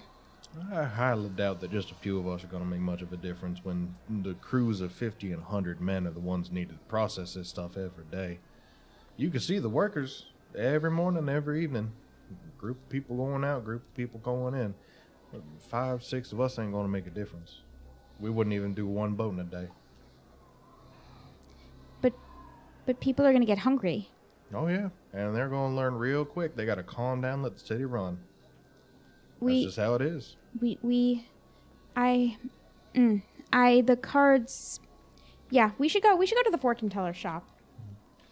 And the uh, the group of you together, Darren probably uh, after all this arriving next, and finally Reth and Arden making their way into the building. All of you would see what John had seen last night. That the only disturbed say well, you've cleaned it up pretty well actually, so it's not nearly as dusty. Uh, but you can clearly see broken bits of furniture, the shattered drawer of the cabinet, like this place, the, the tapestries and rugs are gone. Dang, There's- John, you just let out a bunch of stress or something? Oh, I, I cleaned a lot. Yes, it looked a lot worse when I got here. What? It looked like it hadn't been touched in weeks. You know, a common thing. It's a haunted house, I suppose. Ghosts do that kind of thing. I'm Is- not really sure. Is that a common thing? I don't know. I'm sure? assuming so. Anything with a ghost is common. I guess. I, I, I, sure. You haven't heard stories. I, uh, I apparently I haven't heard a lot of things. Oh, we- this, this city is is I mean- everyone's taking this in such stride. This is terrible. Well, Well, it's it's bad, but that's the way this city so runs. what's the what's actually the situation? I have been inside this hut this entire time. Well, ships can't unload. Ships can't load. The the food that comes in and feeds the city is just not here Can't say unload. And as, because there's no one to unload them. They're all riding. as all five of you are in here discussing, and uh, is Arden literally like looking through the harrow deck here, Just let uh, that card go. pulling that out, you would see uh, one by one small embers catch alight in the sconces around the room. What? Why did we meet back up here? Oh, this is the most logical place. This is the only place in town I really remember. And as they do, you can again start to feel that scent of incense as a smoky haze slowly starts to fill the This area. this might as well happen. Sure. Of all the Don't- places we could have met, we did a good thing for the ghost. I'm sure this ain't gonna be too bad. She's she's don't you- friendly. Why are you so? Dad, I got a question. Why are you so negative? this, th- the city's going crazy. It's not it My hap- city. I live here. He lives here too, and look a how calm lot he more than you think. I- I do I- not- maybe I'm just the crazy one. Everyone's taking this Oh. in stride, but me. Hello. do not blame him for his reactions, truth be told. And as all you, you look over, Bas- uh, Basilia is just sat in the seat before the table again. Uh, bereft of her cards, her hands now just kind of folded on the table in front of her, looking exactly as she had. And you had met her before, but now kind of surrounded by the ruin of her of her old home. It's good to see you with your head attached. That was a very unsightly sight. found the truth then. I apologize for deceiving you as I had, but I knew not the words. Ironically, to tell you of the grisly fates I had found. Hmm. Hmm. I I I, think you could have just led was, "Hello, I'm a ghost." I understand. Would you have responded well to that? I don't really know how I would have responded. I don't know how I'm responding to this. You're I probably would have been a bit skeptical, to be honest. I don't think she had a choice. I think she's a slave of sorts to whatever happened to her. And Well, she got her head removed from her body. the path that was set for her wasn't chosen by her, but I think she's following it as she can. You uh, speak some truth with those words. Admittedly, I feel a sense of clarity now, of understanding. Uh, like I am finally able to see the world for what it is. Truth be told, though I recognize all of your faces, I remember near nothing of our first meeting, save that it happened Hmm. and that of the cards that you were dealt. Speaking of, do you have my deck? I, I do. They. They feel alive in my hands all the time. I believe that's, well, clearly I am the co- source of that. I can think now, I can understand. Uh, whatever has happened, whatever states I now take here, whatever I am, it is in those very cards you now bear. I.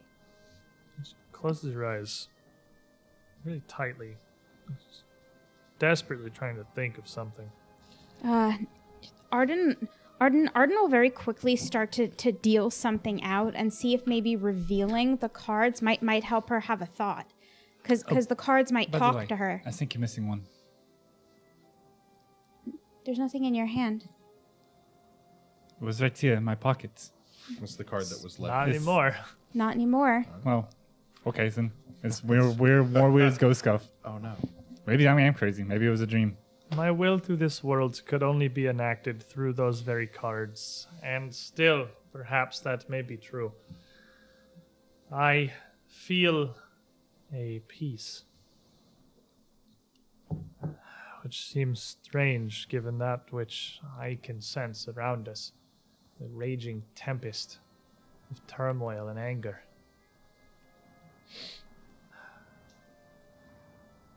That which I told you at our last meeting, however long ago that was, I believe it all still to have been true. Your spirits are what I was able to reach for a reason. You have a powerful fate, a threat of which goes far beyond one single man in one fishery here in Korvosa. A fate of which may well be entwined with that of the city itself, and perhaps even beyond. I. I feel something among you. You bear a symbol. A symbol of things to come, a, a symbol of the path before you. So Uh, that here. reminds me. Um, he'll take out uh sand and he'll cast it before her. What's the what's the what's sand the sand for? for? If she wants, if she wants to draw something in it, if it can help her, I, I So, don't know. I have a question for you. Do you know what a Groetus is? Groetus? Yes, some madman saying something about for the about the path that we take, that we as a herald of Groetus, that we bring zooms to all that. Well, I bring zooms to all that I touch. This is a rambling madman. Got me thinking. What's the Groetus? It's maybe nothing more than that, but you have found something. Uh, It's something that was not here before.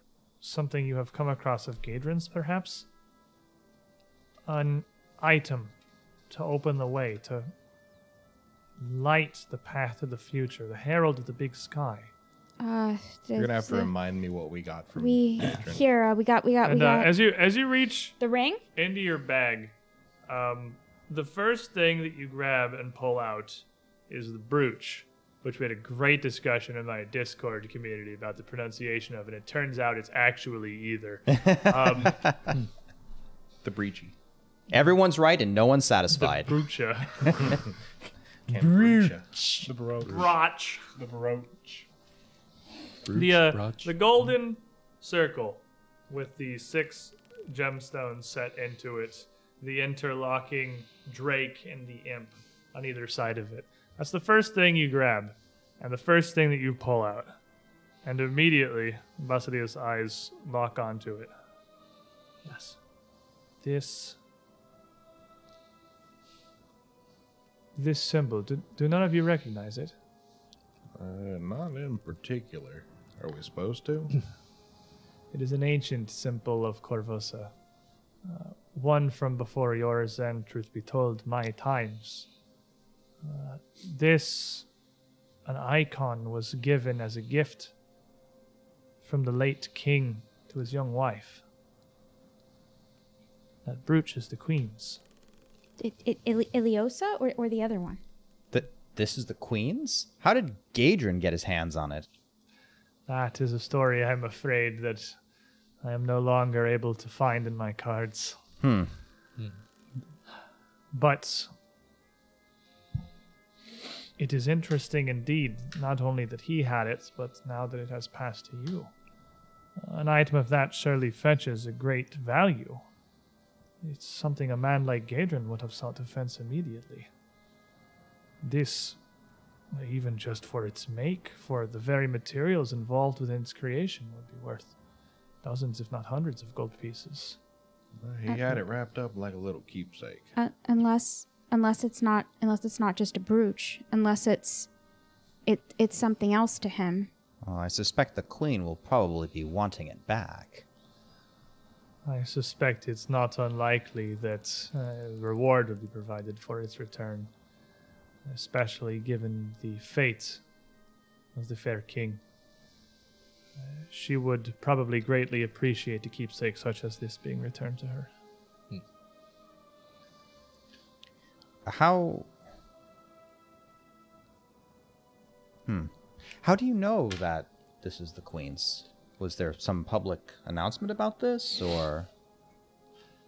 Though I feel some fragment of my mind returning to me. Uh, again, I feel as if I'm able to express myself properly now, to understand things that are happening around me. It's as if it's as if anything before Gaedren is is a blur, is a haze. It's like remembering a dream from a night past. Kind of chalk that one up to just her being a ghost. That's just going to be my logical explanation for everything she says now. But Perhaps a very simple uh, requisite facet of my state. but Basilia, did do you, do you think you could you could teach me about about the cards and, and how to read them? teach you. I think those cards themselves, well, they are your cards now. And in your hands, they will serve as they should, as they must, and the only way that they can. And it, The it- reading that I performed for you on our first meeting will hopefully guide your fates, what power you are yet to possess to its conclusion. But that was the last reading I would deal of those cards. Now it falls simply to you. is, is there anything we can do to set you free? Set me free. I have lived a life of divination, of reading that which the cards have dealt to me. I made my life, quite literally, on, on the very coin they brought in for me. What better fate could I have than seeing them on such an illustrious journey as that which they have foretold? Hmm. In a time of great need, of mortal peril, I can give you at the very least this A full harrowing is a complex art, one that takes months, if not years, to truly understand the meaning the cards present to you. But the truth of a single card can be laid bare quite simply. And if the whims of the deck are in your favor, fate will aid you. Through what power I can grant it. That that's that's nice. I've I've never really had something behind me that that that was in my favor before. And she uh, stands up from the desk, not pushing the chair up so much as kind of rising next to it. Uh, her movement eliciting not the slightest creak from the wood, as if she simply did not interact with anything present before you. Well then. Fates are far from immutable, but they do not enact themselves. I believe there are a great many things left for you to do. What they are, I cannot tell you more than I already have. But I am glad to be a part of the journey. And uh, she steps around the table towards Arden and just reaches down and puts two fingers on the surface of the deck. And uh, as she does, she already starts to lose a bit of her form. You can start to see the wall and the sconces behind her through her flesh as she simply ceases to be. Uh, First, her head her, and her feet through her body. Last thing left, this hand laying on the deck as she vanishes entirely. Eh, that part's a little Spooky. unsettling. Yeah, scary. I would go with scary. That's that's the part. That's the part you found unsettling. Well, Oh, the her being there versus the her not being there versus slowly fading out of existence. it's like it's it's the difference between standing there one minute, you're looking at the space, you turn around, you come back, and Floblin standing there, versus Floblin standing there and he slowly discorporeates in front of you. So this freaks you all out, but the oh, city going crazy doesn't. That happens every decade. That This has been a very odd one to last as long as it you has. at Uh, that I'm just trying to process. I don't really know how to There- handle that information. Dar- Darren? She, she, she didn't mean any harm. She's, she's a, a good person and had good intentions. I, I, I don't I don't blame her for And sending the- us off on a vengeance quest, even though she was dead. If she was alive, I would have taken it up. If she was dead, I, I guess I would have taken it up too. I did take it up. I didn't know she was dead, but I she still So- needed the help, and Darren had and and and Darren, I, I'm, Lamm had to go down anyway. Come here. Darren went Then- down too. They're Are you okay? Is your family okay? They're fine for now. I don't know how they're going to eat in the next couple of days. They, they, they, they have, they have enough food, and I have, the, I, I, I told him, but the, the druids, we, we keep, we keep stashes and, and stores at, at secret places throughout, throughout the woods. If, if we really need food, I, I can get it for us. I'm gathering that this happens often enough in Korvosa that they prepare for this kind of situation, anyways. Why, why, why don't you sit down and and Prepare is Everyone is strong telling me to do nothing.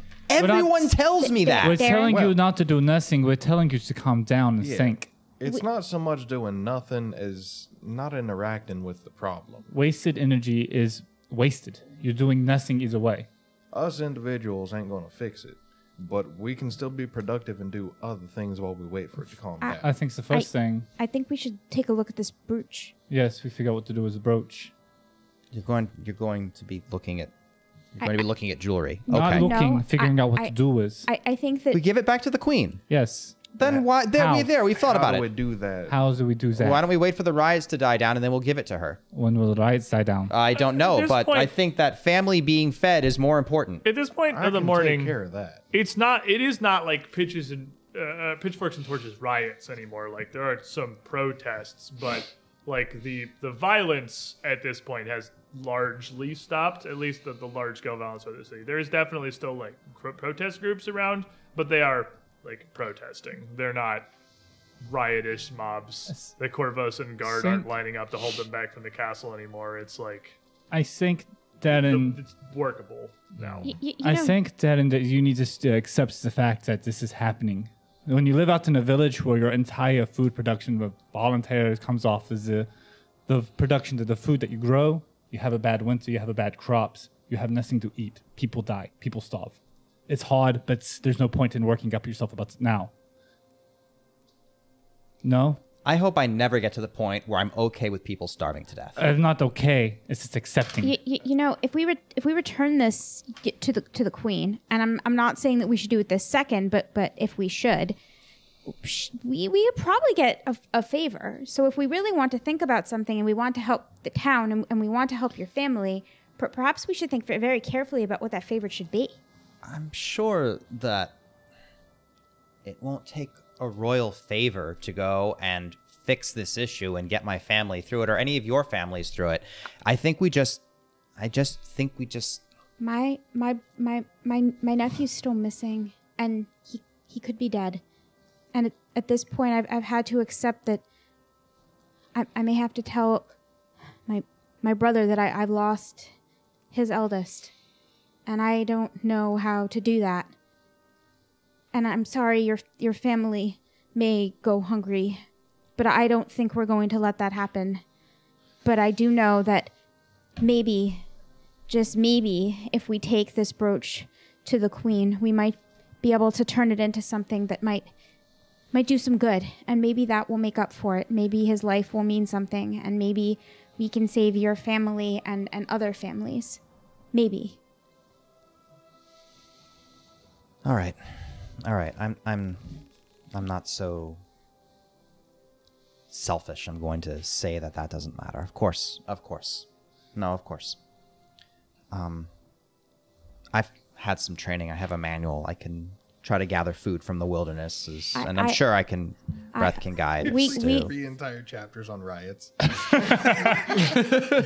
riding, the Valia. go home, do nothing. Oh, okay. Well, you, fair enough. you do That's right you do you do realize that I'm a druid and I, I live in the woods 100% of the time and I, I don't seem to be starving if if that- if we need food and Wait, things that is on. not hard How's it 100% if you slept in my house?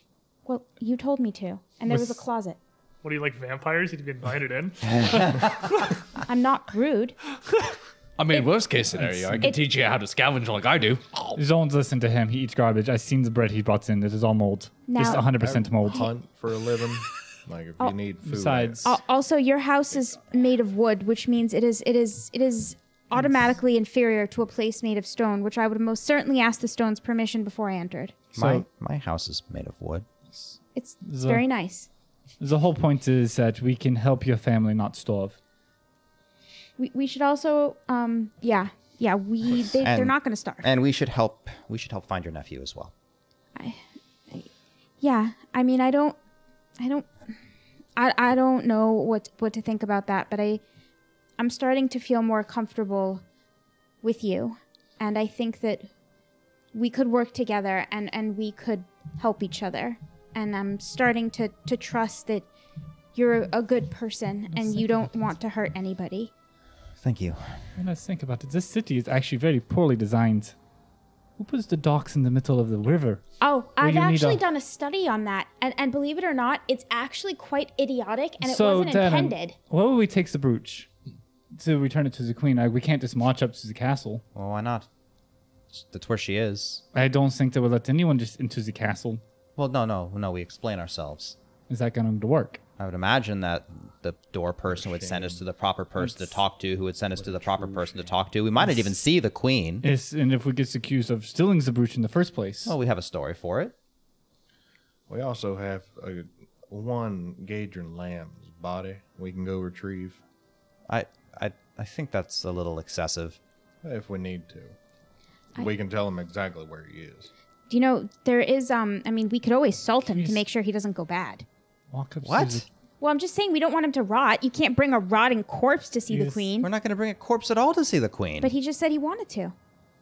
I'm just saying I- that if you're going to bring a No, something no, we're not taking the corpse. We're going to tell him where he is, so a guard can come verify. Walk up to the queen's house and knock on the door and come inside. she has people for this sort Yeah, of thing. you- Castle Korvosa. I mean, you you probably wouldn't know this, but just for clarity's sake, for the rest of the party who does live here, at least definitely Darren, Reth, and probably not Poppin. At least Darren and Reth would know that uh, that Castle Korvosa is like it's a public building. Like you, it's it's a massive citadel and center for a whole lot of business in the city. That's that's higher level. It's Uh, not a keep. Yeah, it's not it's not a keep. Citadel Volshyenek is the is the keep. That's what like the Korvosan Guard are. This is like a palace.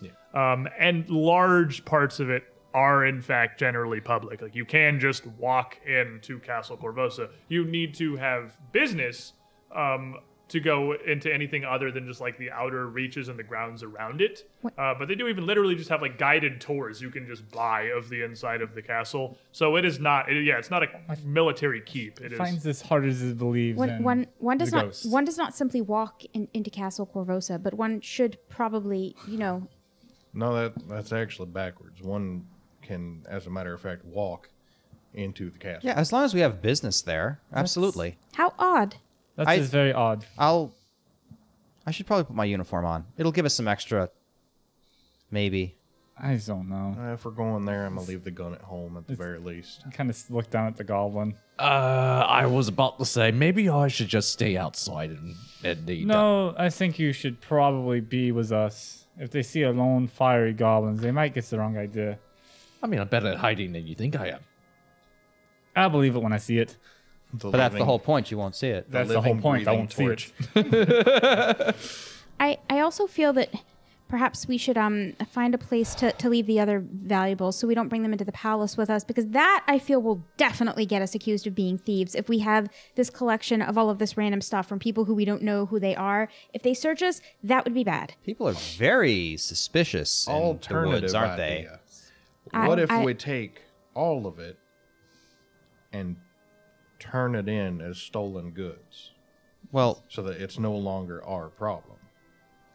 Or you could just hide it in a dumpster. Well, no one looks there. That's not Except wise you. either, because uh, we're just putting more work onto the people at the palace, and this probably isn't there. We should, if we're gonna do something like that, we should go to the local constabulary first. Well, that's what I mean. We just give it to an authority figure, and then it's not our problem. Well, I mean, we can think about that first, but I think the brooch, we know where it needs the to go. brooch, definitely. Yeah, well, let's just go handle that. yeah. Yeah. The rest of it, we can just give to proper I, authorities. I I think I, I, let's store it someplace for now until we find out who to give it to, though, so we don't take it to the palace. I mean, Are you a squirrel? given We given just- Lamm's disposition, I, I fear that you know if I- any I of know these former owners weren't royalty, uh, don't they like might not be alive they? anymore, given his reputation. I think the best place to store it is just in a bag. We just don't open the bags. They're not going to search our bags. Yeah. I mean, they might search our They bags. might I, search our I, I bags. can put it someplace. If you say the stone. No, no, no. Just, just, just give it to me. Just Cheek, give it to me. cheek pouches. Oh. is that a thing No, do? squir- squirrels don't like me. I can see why. I just give me it. As- I I don't mean, the brooch is just on the table. I'm The brooch sure, is yeah. right Uh, no, no, Well, no, no, she not the all the brooch. other The, the other stuff. Oh, all the other stuff. She doesn't want us to be accused of stealing the stuff. So, Fair enough. I, We found it. Uh, if, if you if you if you want it, just there, just squirrel it away or stone it away or uh, whatever. You, you have a very interesting idea of how stones work. I'm gonna have to give you some geometry education. no, no, no, that's okay. It's all right. Geometry. The, uh, geometry. No, geometry. Geo. Geometry. element, geo and elementary. Geometry. said Exactly. Geometry. Geo. Exactly. It's elementary. It's elementary geomancy or whatever the heck she's It- trying to what, say. what, what, what, what he said. Anyway, what are you doing with all this stuff? Um, he'll uh, take it uh, outside of town. You say that the drawbridge is still open. The, the Oh, you are portcullis. leaving. Oh. You're Oh, going to go bury You it in are the going wilderness. Several miles. Okay, I see, thought you were doing it's- something. the It's not like we're backstory- not cutting to you're several miles outside of town right now. I thought you were doing something. The with it. backstory I says raised by dwarves. It's actually raised by squirrels. What- Because what- I- these I are going to be I- put in tree trunks. I was not raised by dwarves. I was imprisoned with with dwarves. Well, what are as you Is- as you is- give Arden all this, he immediately, I guess, leaves. Walks out the Look out, door. grabs Thanks, him by the cloak and just. Where are you going? I, I'm gonna go put it someplace where no one will find it for the moment. you know, I have a house, right? You know he has a house as well. Oh, do we want to hide the stolen property in one of your houses It's not now? stolen. It's, It's rec- recovered. uh huh. Until you're accused This- of stealing it. And no one's gonna. No accuse one's me gonna of stealing excuse us of anything. stealing So he just blames the goblin. What? Is, is There's he- no need is, to blame because there's no crime that's, is, happened. is, is, is the ground on in her floor made of, of dirt or wood or what? Uh, it is on West Dock. Her floor would probably be wood paneled, but then just the earth, uh, hard pack earth underneath that. Uh, it would be broken up in some places with uh, some small amounts of the earth exposed. I mean, Oh, we okay. could even hide it here if we really want to. Uh, and he'll start uh, casting a, a little, and he'll make a, a an indentation uh, in the dirt that he'll then make bigger, and he'll just bury it there and just put some wood on top of it. Raised by squirrels. Are, are all, is, is this normal? No. Hiding stuff in the ground? Yeah, if you want to hide it and you don't want it to be found. No, I just mean you. I don't know. Am I normal? I No. no. No. So then, I guess Devin, where I'm come from, I'm or normalish. this, To Wait, the how palace. often do druids have to hide stolen valuables underground? We don't. We generally s- store food away, but I'm thinking that the concept is similar. So at this point, you're you're making It's your way not. out of Basilia's shop Yeah. down. Uh, the easiest way to get there from where you are is to cut through Slope, um, which is kind of the cultural center of the city. It's the eastern side of the main castle. You're sort of due east of it, so you're away from the primary thoroughfares. You have to go real out of your way to get to any of the castle roads. Uh, but Slope's home to a bunch of museums and libraries and is generally just kind of a nice uh, sort of upscale neighborhood. And it looks like, for the most part, uh, even with its proximity to the castle, it's largely okay. All of the businesses are closed for the moment because none of them are critical. It is a lot of, again, kind of cultural experience things, uh, place where you can go get history or uh, learn about various facets of the city, or even just re- really, it's a large collection of libraries for the university not too far to the north. So that all is just shut at the moment uh, with the current state of the city. So you're walking through mostly emptier streets on the way down this way. Uh, there are a couple of smaller taverns and restaurants throughout that have opened their doors back up now that the torches and pitchforks rioting has come to an end. Uh, so you make your way through about halfway to the castle. Uh, when you're walking by, warm smell of uh, pork stew and fresh baked bread rolling out of a nearby door, and you hear a little voice from up above you. Uh, what did you did you put your gun? Did you leave your gun at Basilio's, or are you bringing it? Or I know you said you Uh, didn't want to bring I- it. I could bury it, could for be you. checked in. No. it could be checked in with the guards when we get there. Okay, so you have 'Cause the if only was thing you're gonna hiding put is it- all the rest of the random loot from Yeah. Gaedren's. If I was gonna put it somewhere, it would be in a locked like room yeah, in not my just house. like leaning up against a wall and No. this abandoned building. Like, No, no, that's walk in probably here, fine. yeah. um, a strange, very high pitched voice from above you. Whoa!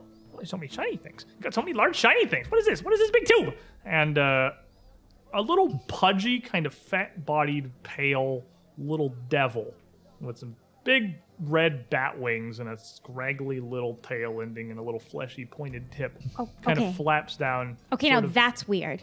not at all for Corvo. Yeah. That, Uh, that- just- that would be weird to you, and that would be weird to you. No, the I'm other s- three of us literally see you them live in every day. Korvosa, imps are a freaking nuisance. Like random imps is like seeing a stray cat. They are basically everywhere.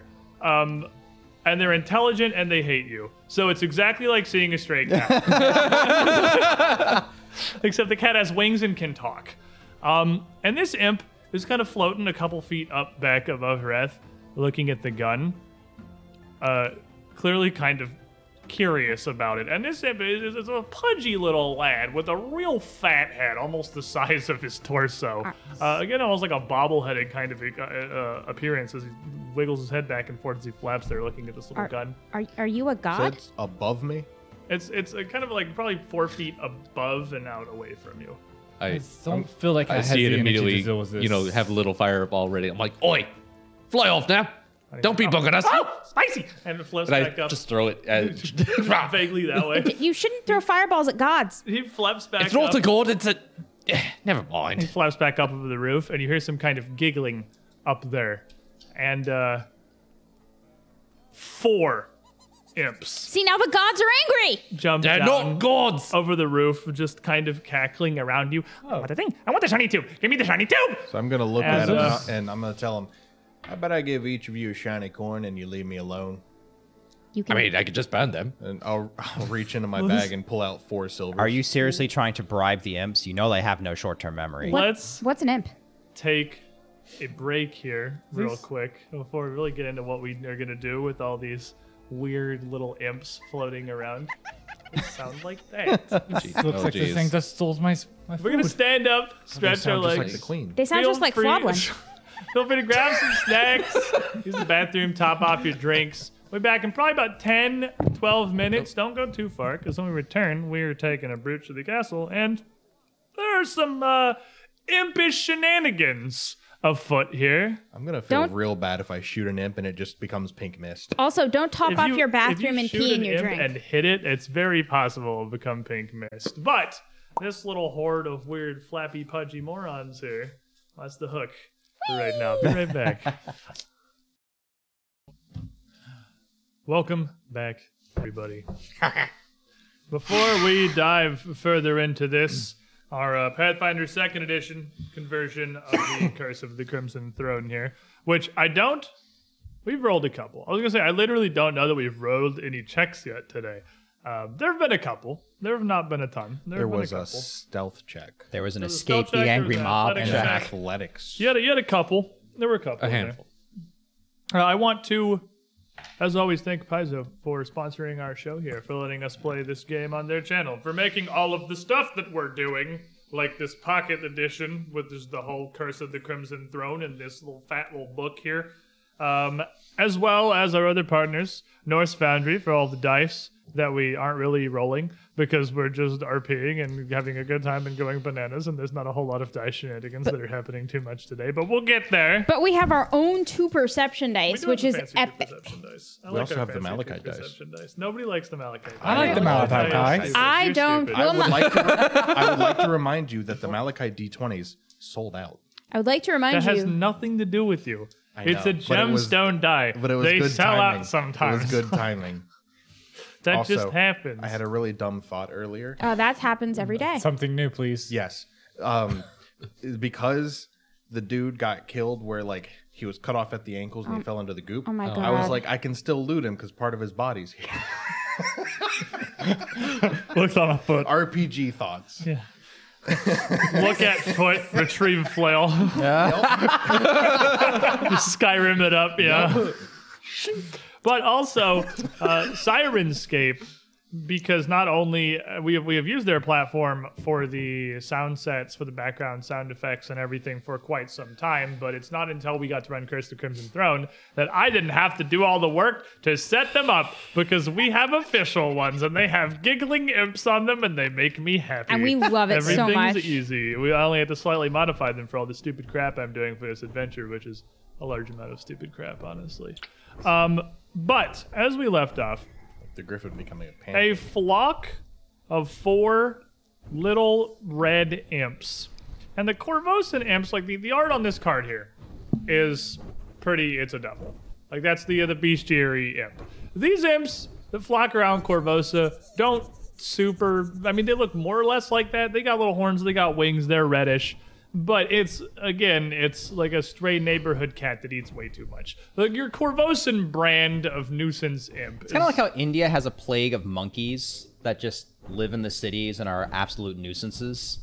These aren't your That dad's sounds- imps. that's a thing. That is Yes, totally a thing. is actually Sounds horrible. Yeah, it is horrible. They are That- really this annoying. Is, does sound awful. Yeah, imagine it's stray like cats that, with but hands. It can fly and also talk. Yeah, okay, and, uh, lovely. And that's then yeah, I guess it's like India's monkey plague, I wish and it was a also has some degree of magic. Hmm. Uh, anybody who lives in Korvosa probably would have had to deal with some nuisance imps at some point in their life because they are just a freaking menace. And here, as we come back, we're gonna deal with some nuisance imps because they're a freaking menace. Hmm. Everyone's gonna roll me some initiative for however you want to deal with these because they are coming down to be freaking annoying. Not bad. I think Reth's got some coins in his cock. hands. I've, I've like reaching into my bag, telling him I'll give you guys coins to go screw off. Well, let's let's get initiative here. So Arden. Oh, uh, that's that's gonna be a 24. Okay. Reth. Uh, that will be a twenty. And Darren. Uh, twelve. It's like The little square does not like staying in this frame. slowly reaching for crossbow. John. Uh, 25. 25. Floblin. 23. 23. We got the block of general 20s in here. And our flock of neighborhood imps. Three. One of them's a calico. That would be very straight hard for them to get a 3. I like imagining the imps with cat patterns on them now. 26. Oh, One of them See, probably. Defying expectation. They Oh, are I expected them to be very fast. One, they are quick little buggers. That's absolutely a thing that they are. These aren't cats. They're seagulls. one of them probably looks like one of my cats. He's 26 pounds. Yeah, that's a Very- big cat. possibly seagulls. That seems entirely possible. So they come down, this kind of cloud over them around you, and you know these things are a menace. Uh, it's oh yeah, I got some little imps. Here's some little imps. Oh, I see them on the map now. I like I've like I've been looking over there at the here's screen. some little things that kind of look like imps because I only had two imp tokens. Um, there's our impy cloud there. Mm-hmm. Uh, the two on the side back here by Reth are going to descend down on them. Uh, one of them immediately reaching for the gun because he wants the big metal stick and he doesn't know what it is and he wants it. So he is going to attempt to disarm you uh, against your reflex DC. And his will. He can't disarm me. Why? I'm not wielding the gun. It's gonna be functionally disarmed because, like, I mean, it's like an attended item, so uh, it's it's your gun.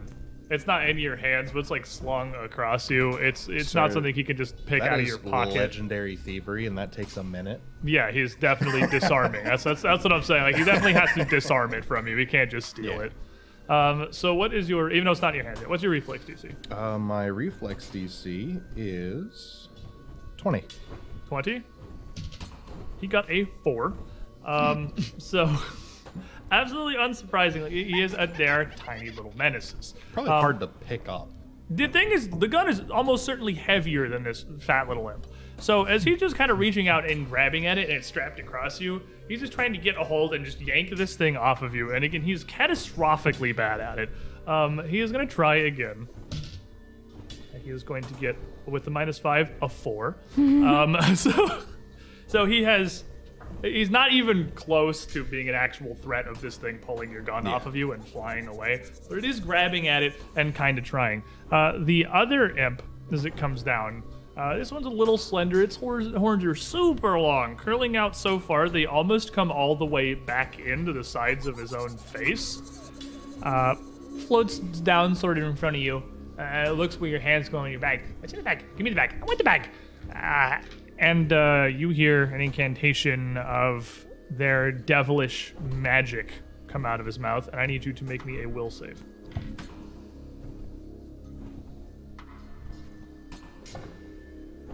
Uh, that will be. That'll be a 10. A 10 is a regular failure. So as he casts his spell on you, the one that's there begging at the bag, it's not. So this is always the weird thing with like mental compulsion effects. It's not suggestion. It's not like he's not mind controlling you, but you see this little one. One of them's grabbing your gun, being a nuisance. One of them's just kind of there looking at the bag, like gimme, gimme, gimme, gimme. And he he seems like a nice lad. He seems like a good little, well-intentioned imp. He's I mean, asking. I was Um, already doing Yeah, that. you. He's not compelling you to do it. You are friendly to this imp, Yeah. and uh, I mean, I was already reaching in the bag to pull out four silver. That's right. what I was going You were like to had do. to make him go away. Yeah. Uh, but now you kind of like this imp. He's a cute little imp. He's he's a nice little guy. Uh, you, you're, you're friendly to him. If something happened, you literally can't use any kind of hostile actions against him. But you, you think that other imp there, he's a, he's a pretty nice. He seems He's entertaining. he seems polite. Yeah. He's pretty alright. You let him go out with your daughter. Probably, probably. no. Let's slow that down a Just want to talk to him. A little bit, maybe. Um, the other two come down on the front line here, where we have John and Darren sort of up at the front of the group, and these two imps sort of flutter down, looking across you, trying to uh, find something. Um, one of them. What do you got on you, John? Um, Pointy things. a So lot, many. A lot, a lot. I, got Other a, than 50 weapons. I got a scythe, a spear, five javelins, a short sword, and a sap, Well, you have other than 50 weapons. and then a backpack that has all, everything inside of it stored. Okay, this is going to be. I would say he's actively doing it. Probably also a bit against your reflex DC. Um, it is going to be a 14 It's a failure. as he attempts to like flit over and around behind you and flip open your backpack. He's trying to get into your bag. Uh, he's going to try it again There's nothing in the promise you, It's empty. uh, for a 20. That succeeds. What's in your bag? Um, it's an adventurer's kit, so whatever's in the adventurer's kit, rope, I can provisions. tell you exactly. Tinderbox, Tinderbox, uh, some torches, some torches. rope. Uh, it has a bedroll, ten things of chalk, a flint and steel, two trail rations, Flint and steel. a Trail- rope, soap, Take the trail rations off. five torches, and one water skin. So Bucket. as he he Soap. gets hit into your Don't backpack, soap. flapping behind you, and gets his upper body in there, and comes out with the uh, the striking bit of your uh, flint and steel in one hand, and your bar of soap in the other. And Shiny. Just kind of looking at him, shiny thing, and he's just sort of holding the soap like he has no idea what he's looking at. That's a good snack. it licks it, make a fortitude save. The other end comes down and physically lands on the ground in front of Darren here. He looks up at him, kind of narrows his eyes. Eh. Go on, get out of here. and uh, he sort of whips around and lashes his little tiny tail at you, like "Meh," just sort of whipping it your Rude. direction. He's rude. He's a rude dude. we have a nice imp, a steely imp, another steely imp, and then this guy. This guy's a this rude guy dude. right here. It's gonna be. It's a. This is an attack roll. It's gonna be a 22 to hit you. 22. Yeah, he's gonna get me right in the thigh. Ow! And as it hits this little like fleshy, uh, again, it kind of looks like almost like a fleshy little devil tail they have. As it hits you, you do feel like a little spine kind of jab you. Um, what's your alignment, good sir? Uh, my alignment's lawful good. You are going to take four points of damage, uh, which is literally entirely evil because he rolled zero on the piercing. Oh, one on the piercing damage, three on evil. Uh, so it's still four. You're not gonna be weak to it or anything. Ah! I need you to actually make me a fortitude save. Oh my god. You got a little stinger.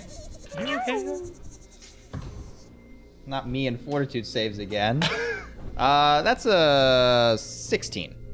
16 it's crappy little imp poison. You feel it kind of burn and you stumble a little bit because it kind of it it takes a lot of saps the strength out of your leg for a brief moment and that imp flaps back up to about 10 feet in the air and about 10 feet back from you uh, kind of cackling this is an ugly one he's got an ugly face i hate him You. He's a rude dude He's a rude. john I think you're very So- handsome. All right, so this one, he's got your soap and your flint and tinder your flint and steel and he's giggling and he's having a great time um, I'm glad you're having so much fun. Um, I'm gonna power attack punch him. he is right Now, if you would kindly bugger off. It's a 9 plus 10, so 19. 19 hits Cool, So Leo. it's D4 plus strength, non-lethal damage. 2d4. 2d4. Two Because of the power attack. Power attack, two D4 plus Hey, strength, Baker. non-lethal damage. Um, I can't actually read this one. No one can. So it's a total of seven. Seven points of damage. Okay. But this is three. Um. So as you punch it, you kind of hit him. He's pretty small. These things are maybe a foot, like head to foot. Their wingspans maybe a foot and a half as they're flapping. You punch him and it like knocks him back a good bit. And you do it like it was an audible high pitch, like oh, as you hit him, and he drops the soap and keeps a hold of the uh, the flint and the steel. As that just kind of shoots out of his hand, for momentum and staggering backwards. It's slippery. Uh, it is slippery. It just kind of zoop, and uh, he looks down at the soap and looks back at you. This one's mean. Stab this one. And then I, I pull out the spear. I was like, please try. and you feel like you're, you're, you're hit. You got them pretty solidly, but it didn't really seem to affect the imp that much. You get the feeling that like they are a bit resistant to just being punched. yeah, most things are. Um, Arden. Actually, no resistance to non-lethal damage, which is, I guess, not a ton of stuff really. It's just everything you fight in Age of Ashes. Yeah. Arden. what, what, what, whatever they are, they seem very aggressive. I, I think we should just make them go away. yeah, pretty aggressive. Uh, Diogenes Cinementus. Uh, and I'm gonna find uh, a line of which whichever I can get the most of them in that's 60 feet long, and I'm gonna gust a wind and try to blow them the heck away. You can move. If I move- down and get two of them. If you All right, move kind of perfect. out this alleyway to That- south, you you can go. gust the wind two of them and just like blow them into the Building. closed library Yeah. on the northern side of the road here. Okay, so what are they doing? Reflex Fortitude education. save. Fortitude save. I'm sure Oh, they're well, good. I'll bet the imp's fantastic at those. That okay, was my bet. Tiny little flying imp. Um, so the imp in the back is going to get a natural 20. Of course he is. He's holding onto the Wait, gun. is, is that the one that's beside me that Yeah. casts charm? That's the one. That's the one who's trying to steal your gun. oh, uh, the reason he's not. He's getting holding on to the blown- gun. He's just holding gonna on to the like a flag for a second. Um, the imp in the front that casts charm on you. Whoosh! gun. He's like, oh, money, he money. gets a 13. Uh, it's gonna fail, and uh, he is going to get knocked prone. And if he was flying, he's gonna get pushed 30 feet, uh, knocked prone, and he's gonna take 2d6 bludgeoning damage. Absolutely gonna slam into that northern library door and just pop flap onto the ground and take 2d6 Oh, come on, bludgeoning that was a nice one. He looked like a polite gentleman. Uh, it's gonna be uh, six bludgeoning damage. Six. All right. You feel like he is gonna take a, uh good bit less than that. He's gonna Uh, take he less from the he- door. Yeah, he looks Get- like he takes it pretty well, but he bounced off the door and lands on his face on the ground and is kind of uh, f- f- like kind of flailing. Uh, it's till my next beginning of my next turn though, so the gust of wind stays. Uh, so he's actually just splattered into the door. It's just a cartoon. Pretty much. and he can't get off it. The other one's just hanging onto your gun, flapping, flobbling. Ah, these little buggers. They're really annoying to hit. I guess I gotta, by the prayer of Blue Baiko, tear them apart. Blessed. Okay. Ooh. Um, so it starts as a Five a foot five foot bubble around yourself. Yep. So anyone adjacent to you, uh, which at the moment is just red. Yep. Uh, but we'll keep continue to grow as we focus on it. And you have an Yep. action I'm gonna go ahead and take that last action, and he's gonna like just concentrate, and then the orange aura that's surrounding him will just expand a little bit more. I don't see any reason you couldn't immediately sustain it. All right, ten foot bubble. So then that will reach. And then anyone within the Darren bubble well. immediately feels like ready to go, invigorated, and just an urge to punch things really, really hard. it's the like drinking doing? milk. The blessing of the fire goblin. What's this goblin doing? Ref. Well, Helping you. gonna reach into my bag, grab a few silvers, and I'm gonna look at the one trying to take my gun. I'm gonna offer him a coin. Now, if I give you this shiny coin, would you just buzz off, please? And uh, as he sees that there, you pull out with an action. What's your class? What's your deception? What do you? Yeah, I'm gonna. Yeah, you actually use a legitimate offer. You'll pay him. It's not really deception. What's your? Di- maybe diplomacy I'm check. not trained. It's just diplomacy. I'm trying to figure out how to, how to do this. Diplomacy makes sense. Uh, that is a ten total. I rolled a nine. What ten? Just like here's a here's a silver. you He's flapping in leave. the wind, hanging on to your gun. Like I'm making He- the offer. yeah, I'm not he- expecting him to He take it He really right wants the gun. He doesn't seem interested in the silver. Oh well, I tried. Put him back. Two actions. Yep. So That's a silver piece. it is. Can't throw that then away. I'm gonna draw my gun with him still on the barrel. just pull it right. He has basically no weight to it. You just pull the run- gun around, and he sort of loses his grip on it. And it's just frantically flapping against the wind here. I'm gonna look at him and be like, "I'll give you six seconds Darren, before you cease to exist." again, it is a meta joke. Reth, how long have you lived here? You're trying to negotiate with the imps? yeah, they listen sometimes. Crossbow, Usually load it's it. food though. Th- these things just live here, and you think I'm weird? no, this whole city is awful. You're reacting well, hunt. Wait. I didn't have the crossbow out before, Yeah, right? draw, load, hunt would be your Draw, load, hunt. Okay. Uh, draw, load, shoot. draw, load, fire wildly. The one that came after you, it's up. Yeah. All right. It's a menace. Uh, that's only a four on the die. That's not great. That's uh, gonna be uh, Dennis. twelve. Yeah, the mean, 12, he's going to kind of flap out around as this crossbow flies by him. They're the ones that survive. It's a 13. You're in his AoE. They'll not get I it. I- I counted know. it. Um, the Oh, ones Okay. The ones that survive any real amount of time in Corvus who get pretty good at dodging crossbow bullets specifically. Yeah. this is the thing that they're kind of used to. So as that looses by him, It's just another 12 day. this imp is gonna fly right back down past this crossbow bolt, uh, whipping this tail down underneath him, just towards center mass on uh, Darren. He's a grumpy lad. he is. Um, He's not, he's not one horns. cat. He's a grumpy lad with some S tier RNG. 26. That's Whoa. hit. Whoa. Gets me right in the face. Ah. Um, you're going to take another one point of physical damage and two points of evil. Three points of damage. Ah, ah, ah. And maybe a part two. 42. Wow. Okay. Yeah, 26. Oh, he crazy. Sixteen. You're totally fine. Right. And then again, he flies back up into the air, pretty confident of his ability. I to am gonna get bolts. you. The one in front of John here, as you pull out the spear, drops to the ground. Uh, he's, he's kind of floating like at level here because he was grabbing at your backpack and you punched him. Uh, but as he falls, he enlarges uh, as he comes down, landing on the ground as a massive spider, a medium-sized spider. Uh, that were it to stand upright would be a little taller than you legs can uh, legs considered and they don't warn you about this when you come into the city?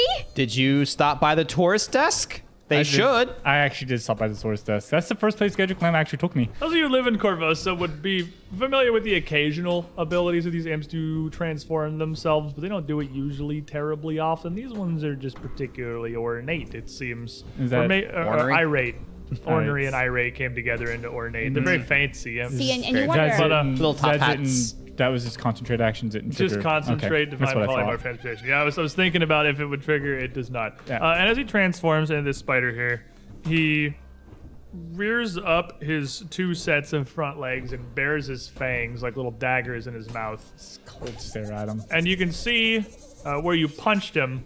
He's a little lad. You can even see where you punched him is already on the on the spider form, kind of more visibly discolored.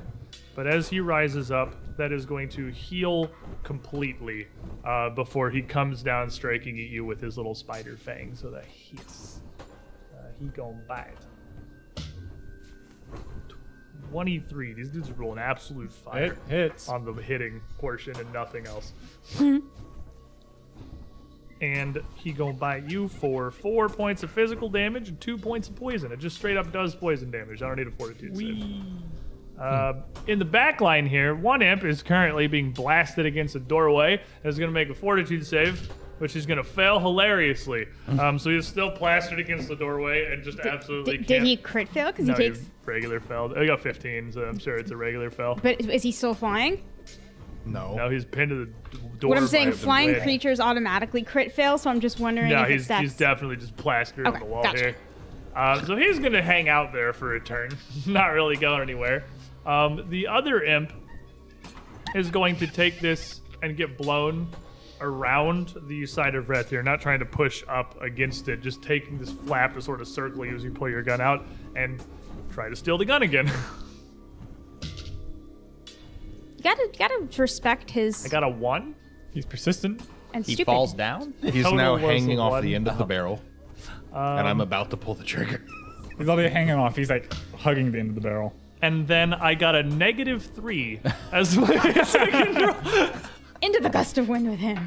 Is he climbing down the barrel at this point? He's like literally grabbed onto the barrel, like with it exactly up against him, hanging onto it, Wow. trying to wrestle it away from you with his negative one strength modifier. I That's feel I feel real bad about what I'm about to do. Do you mind leaving?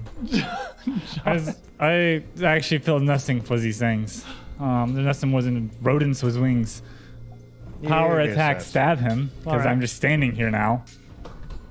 um, for a total of a 24. Ooh, 24 will definitely hit. So that is a spear this time. So it's 2d8. And it's not non lethal. So is that a 1 or a 7? That's a one. That's a 1. So that's a total of a 14. Piercing. 14. Yep.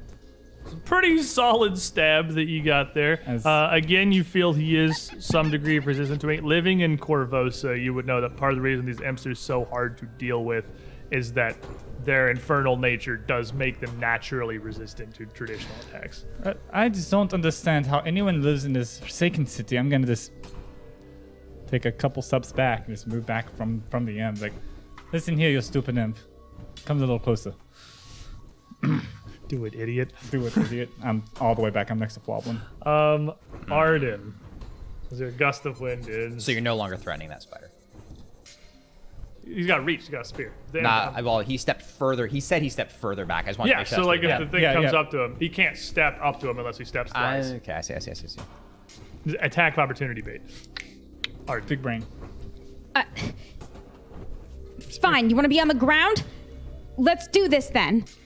I don't think he wants to be on the ground. Isomectra Hexus! Uh, and that's going to be a crushing ground, and I'm going to need a uh, reflex save. From which one? The spider. Oh, okay, the spider. Yeah, he's on the ground. He's doing spider stuff. Reflex save. Well, they're great at that one. If I roll good. 21. Regular success. That is going to be a regular success. On a regular success, um, he is going to. Is it a basic? Yeah. So he takes half. Yeah. Sorry, it's my new uh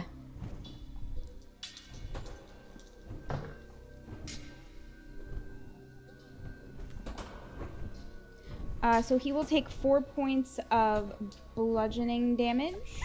All right. And it looks like that just barely does anything to him. Um, however, uh, I am going to channel my life force, uh, and as that happens, um, his spidery energy will flow back up into me, and I will regain. Spidery energy. Yeah, and I will regain the focus point that I just spent. That's that. Oh, there you go. That's, That's a pretty neat nice. card. Okay. You get a focus point. Neat. Spidery energy. She's Spider-Man Uh, leaves you one action left. Uh, which I will use to uh, come around uh, the one that's on the ground. Right here. The one is Yeah. falling off the door now. Yeah. I was trying to get back up in the air. Yeah. Just Hey, you okay down there? Okay. So, at this point, while you're dealing with these imps in the streets here, player three enters the game. The city Oh. sucks. On the uh, front side here, uh, on the, the, the flank where you, John, and uh, Darren are standing, first of all, the door to this restaurant, you see one of the servers inside scramble up and just shut the door. it's the That's imp shenanigans that are happening here. Uh, but descending down from the sky are a pair of tiny purple dragons. What? what? They're about as big as the imps, about a foot, tip to tail, uh, with some blue little, less horns and more almost like sharpened frills around the back back of their uh, skull, running down their neck, and bright blue membranes inside their wings. Uh, those of you who live in Korvosa would probably also, just without any kind of a check, recognize a house drake, um, which is exactly what it looks like it is. It is a tiny little menace dragon. It's like if Um, bearded dragons was was a literal. This is this is the stray cat. This is your stray cat.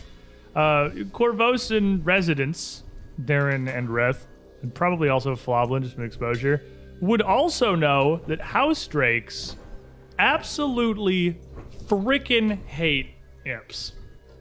And they would immediately set upon the imps in the front line here. Um, the two of them descending, uh, the first one immediately down towards this spider beast uh, as it just kind of collides on top of them, dwarfed by the size of this spider thing. You see it open its uh, open its little jaw and just try to clamp down on the back of its dumb little spider head for a 22, which is absolutely gonna munch this little spider. Imps are seagulls. The house drakes are actual stray cats.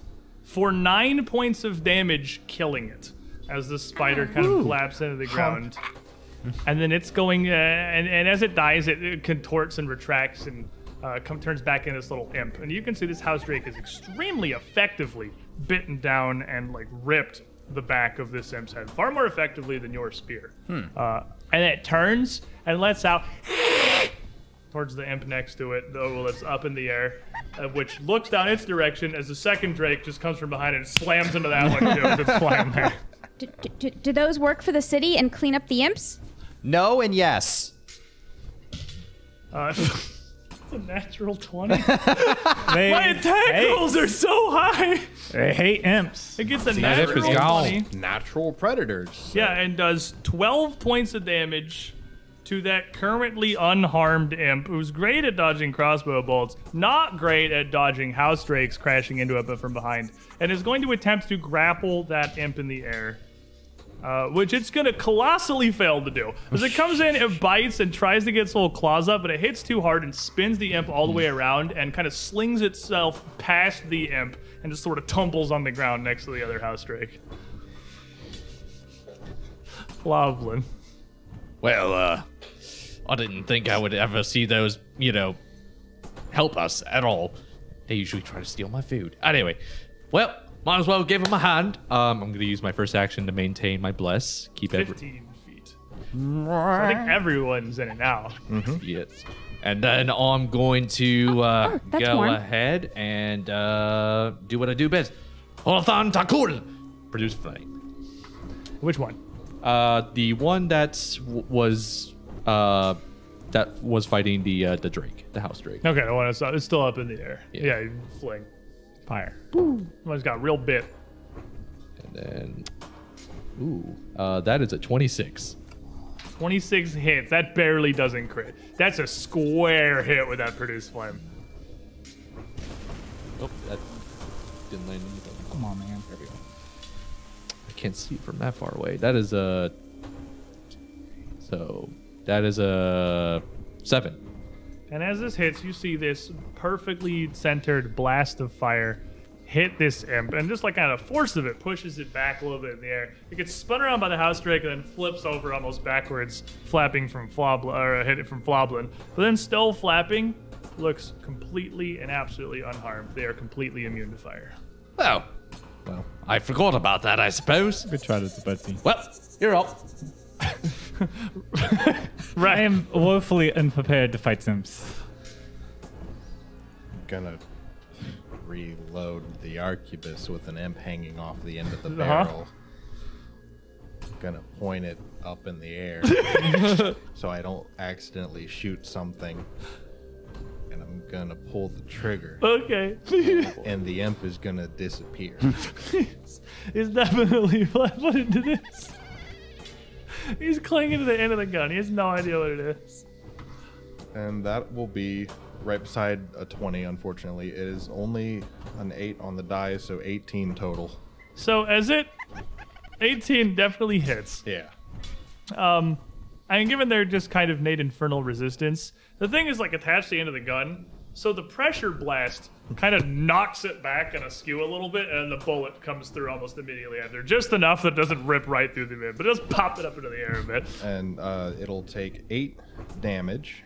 And um, a neat thing about weapons with concussive, uh, which is a weapon trait, it does bludgeoning or piercing, whatever they are least resistant to. I know it doesn't affect this. Yeah, it doesn't matter on this one specifically, but that is is automatically whatever's Mm-hmm. best. Whatever is best. All right, and Crush uh. Then I'm gonna reload again. this thing's kind of spitting through the air as you bullet, We got like almost punch it. two spinning imps. and I'm Uh, just gonna look at it and be like, well, tried to tell you. because your your standard weapons here are not like drawing blood. They're not piercing their skin really. They're hitting them pretty hard, but the only thing that's gotten through their skin is the house drakes, which are purpose built almost to rip them apart. Uh, Darren, All right. This darn thing. you stabbed me twice. I'm really mad. Drake's gonna get a piece of you, but reload, hunt prey, and shoot him. Maybe Stab I can catch it this time. Shame on you. Hey, there we Oh. go. And I'm in the bless range. Uh, that's gonna be a 27. 27 is a critical hit. Woohoo! crossbow That ace one'll pierce the skin. plus precision. Uh, 60, 11 plus 2 from crossbow ace, 13, 26 piercing damage. Yeah, that would. That's definitely more than enough with resistance to kill them from full health, and he has three. Um, so what? What happens to him? You shoot this through him. Uh, the thing, uh, the imp's gotten hit by the drake, spins around, Floblins knocks it back, and then this the bolt just kind of, as the flame cloud kind of clears, the bolt just kind of comes through and foink, and then it just kind of rolls and kind of platters around before kind of sticking with the bolt kind of flopping out of it. yeah. And that one fully defeated. We just have the two in the back of the party now. Uh, one up above Reth, who has very soundly been shot a little bit up into the air. Uh, he is going to fly over to the far end of this small plaza, to the street that you've come from, the southern side. Uh, flying down towards the ground, spinning around. I want it! I want it! I want it! I want it! Uh, transforming as he does, his arms kind of growing out into little furry, hoofed, stout legs. His body largely widening as he gets very thick. His horns distorting into massive tusks, and he turns into a boar, putting his head down and charging across the ground towards Reth. You got a boar token? I had a spider token for an unrelated reason, actually. I wonder if I can talk to it. I don't think so. I think it's still an imp. and it is going to swing at you for an 11. No. He just shoots these tusks up, gets absolutely nothing. Uh, the one on the ground next to Arden here uh, is going to stand itself up on the ground and just sort of wildly lash out with its tail, just kind of going nuts. Um, snapping it towards Arden because you'd be the closest. I, I, I wouldn't do that if I were you. 20. That'll hit. These That, tails. that, that'll hit. That'll hit. They're having more luck in their uh, normal form than their transformed ones. three points of piercing damage and one point of evil if you take that, so I, four I, damage. I do. And then roll me a fortitude save. This entire party is good. Y- yeah. Coming from Age of Ashes, this is phenomenal. You take evil damage now. I know, right? Being That's, good, just uh, it's just a disadvantage, that- guys. That's It's that's just- that's that's gonna be an, an eight. All of an eight. Does not critically fail. That's good. what we're after. Um, and you're gonna take this venom a lot worse than Darren does. Uh, a little worse than Darren does. You're gonna take one point of poison damage, Hey, remember that thing I said about having poison resistance isn't that bad? But you are also clumsy one. As this kind of makes you a little bit wobbly here, John. Ah, these things are absolute nuisance. I'm gonna just kind of N- nuisance. around, it's flobbling, poisoning me. use the momentum as a spear to drive it into the boar. Like hunting boar is actually a lot easier than you think. And as you go to I get the help. because I have cover fire. As a reaction, I can aid anyone within my first range increment attacking someone. Because I shot him, I get a plus one to the aid check. Okay. Does it, are you unload? Does it discharge your gun? Nope, I just aim it at him. Covering Cover fire. intimidation. Yeah, it- it's Like aid- covering fire from the previous bullet, I suppose. Yep. Okay, so you roll your aid first. As you come at him, turning around, uh, you can already see he has uh, as well started to heal up from where the bullet has struck him and looks also perfectly fine. So that's a 27 to aid, Okay, well that definitely succeeds. You get a plus one to your attack roll. Wee. and it doesn't shoot. This is just I just shot you. I'll do it Yeah, again. it's the previous shot. Mm. Oh, it's That's a a 20 total. 20 will definitely hit him. As I just spin it around and aim for the That was a power attack, by the way. I didn't say it, Oh, but fair enough. yeah. It's the only thing you've done. I'll give you the benefit of the Yeah, doubt. it's, that's all I've been doing. So 11 plus 4 is 15. 15. 'Cause I'm trying to get him in the eye. would kill him had he not healed. Uh, but a solid blow nonetheless. Arden now, a little poisoned, feeling a little bit of imp venom. I mm, I'm mm, gonna get you. Uh, Arcus Maleficent.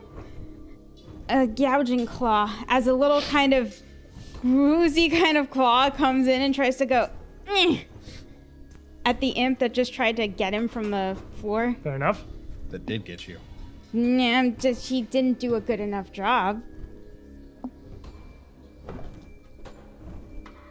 Hey, Okay. um, in the bless range, so that's gonna pretty much wash. So that's gonna be a 23. 23 hits. Won't be I don't think your long. clumsy affects this. Spell attack roll. This is a spell attack roll, yeah. Oh, that's off your that's right. caster Clumsy modifier. would 24 is still 24. gonna hit. Did uh, telekinetic projectile. No, I don't Still a spell attack roll. Still a spell attack. Really? I thought it was a ranged attack. Nope. I did not know that. That's going to be seven points of slashing damage. Okay. So, uh, lands a, a hit, but he's still flailing around, upsetty. not upsetty. not this time. Ugh. And uh, he'll raise up his shield. Maybe a fortitude save. So you deal with this on a, a day-to-day basis. They're not usually this aggressive, but sometimes we just got unlucky. 21. 21 will succeed, so you overcome the poison. All right, Uh, The pair of drakes back here are pretty quick. Not quite get to the boar in one fly action quick, but the one in the back is going to take two actions, to just kind of fly up over the party and descend on the boar uh, the that's kind of reeling from the shot and the spear stab just as he had the imp prior. He's in bless range. Is he considered an ally? I mean, if he's a friendly, then yes. That is only going to give him a 14. Uh, so he goes on to bite on this one. The boar's thicker hide fends him off decently well. I should be aiding these. They keep turning. they keep turning into a form that's a little bigger and a little harder for them to to really deal with. The other house drake flies up over uh, directly above Floblin, uh, kind of above everyone, and opens it, its mouth and with a little hiss sprays out what looks almost just like a cloud of mist of like a uh, just a silvery, very thin spray across both imps and uh, it's actually gonna, gonna hit Reth. It's not gonna reach Arden. It's a very short little spray, but it is gonna hit Reth. Uh, they're not like going out of their way to not hit you. They just hate imps a lot, and you're kind of in their way. You need to make me a will save. As do both imps. You and your saves. 14. 14 will fail. You are stupefied too. Hey, you know what doesn't affect shooting a gun? You're dumb now. but it does it tech. does no damage. It's just like a weirdly disorienting, like almost kind of hallucinogenic mental effect. It is magical. It is not like an inhaled thing. and uh, everything starts to kind of distort and warp, and you can feel like your brain oh, is almost overloaded by the sensory input here. Uh, the two imps It's baby's first uh, synesthesia. two imps are going to get a 26 and a 23 and be perfectly fine. So, helping or hurting, House Drake, helping or hurting.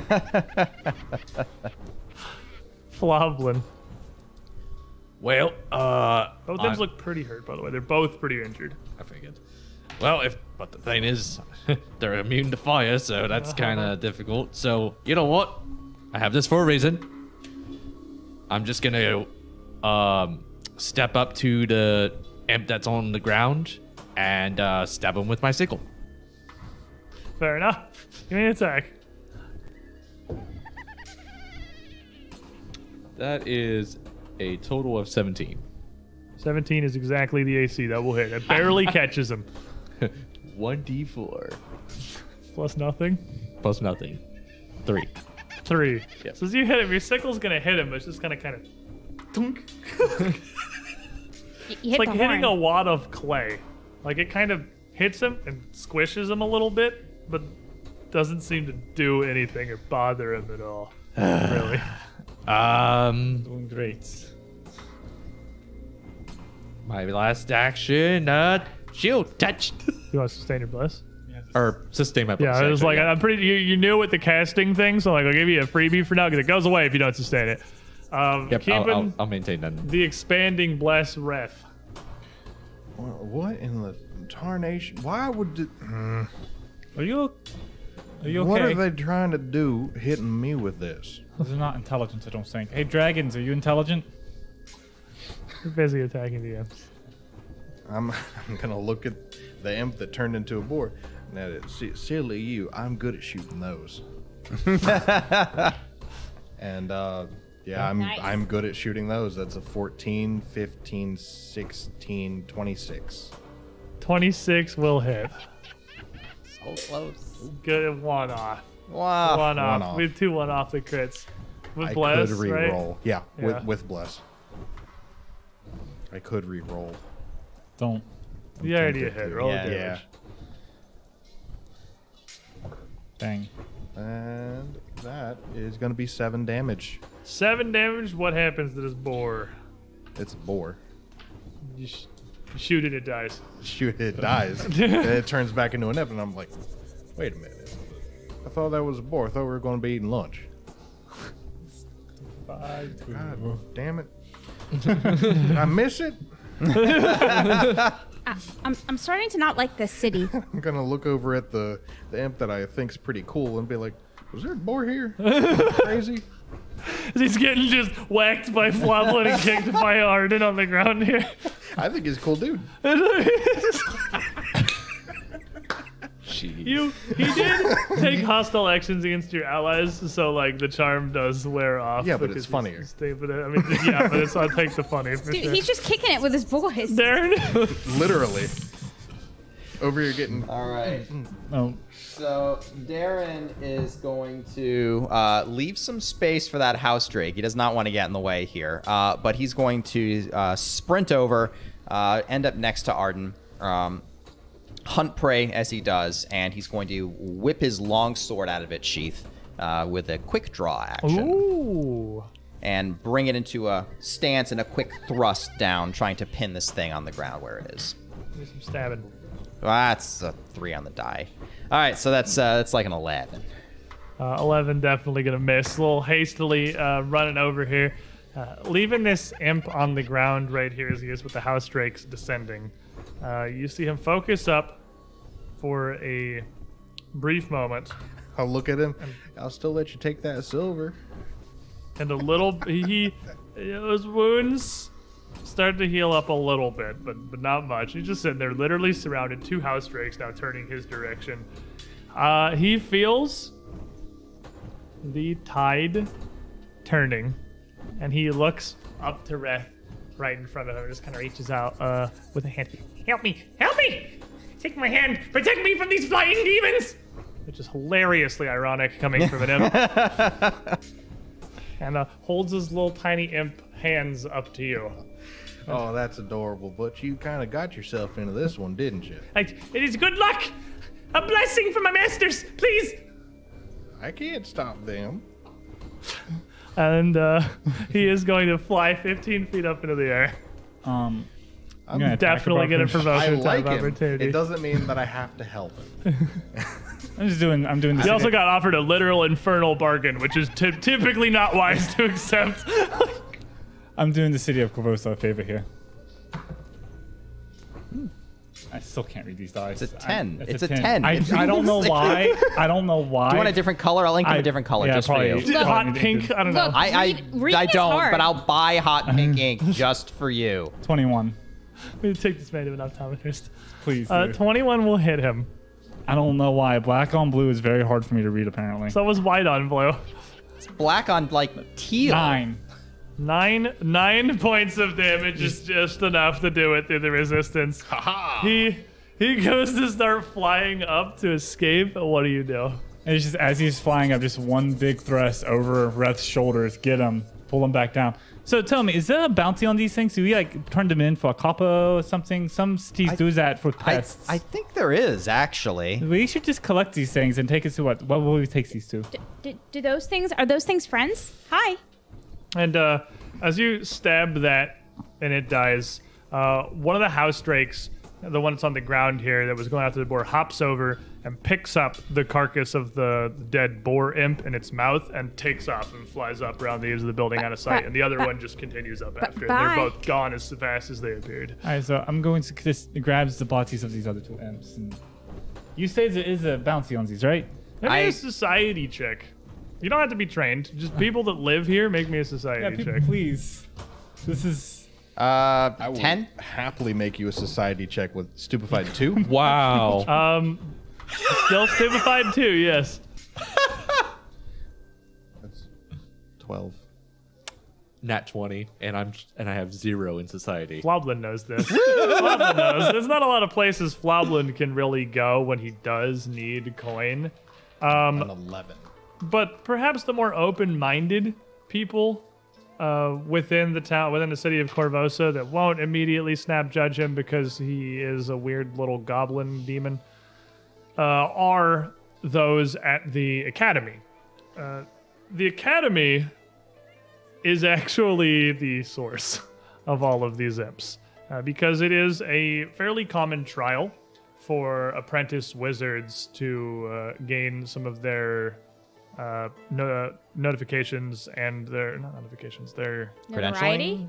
What? Credentialing? credentials. We'll go with we'll go, with credentials it's close enough to what i'm thinking of. Uh, and their qualifications is what i'm looking for is that they have to summon and bind an imp. And it is a moderately difficult task. Summoning an imp not super hard. Binding an imp definitely harder than summoning an imp. So you end up with a lot of nuisance imps all throughout the city uh, because these things are spectacularly adept at getting away from people. Um, Darren and Reth and Floblin would all know uh, they can transform their shape, obviously, into other like less battle forms. They can turn to small little birds and just get away or hide. They can quite literally turn invisible. They can charm people. Like they are very good at escaping any and all setups meant to contain them. And then they're just loose in Korvosa. And they are a menace. And the Academy absolutely pays a silver piece for dead imps uh, that you can find throughout the city. So you can take the four of these little foot long imp boys, throw them in a sack, run by the Academy later. Four bucks, easy. Well, the three. Three. The three. Three. The Drakes wanted Drake- to change, Drake. cash one in. The, the Drakes earned their keep. Yeah, they got lunch. They deserve it. yep.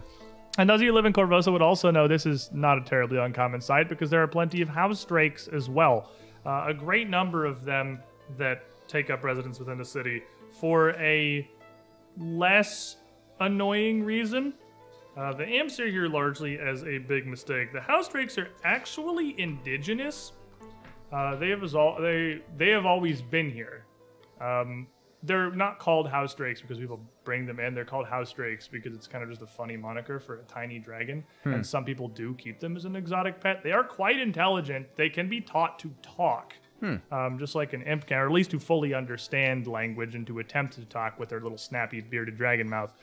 I'm um, gonna find one and do that immediately. But they absolutely hate imps, and for some reason or other, are very adept at hunting them.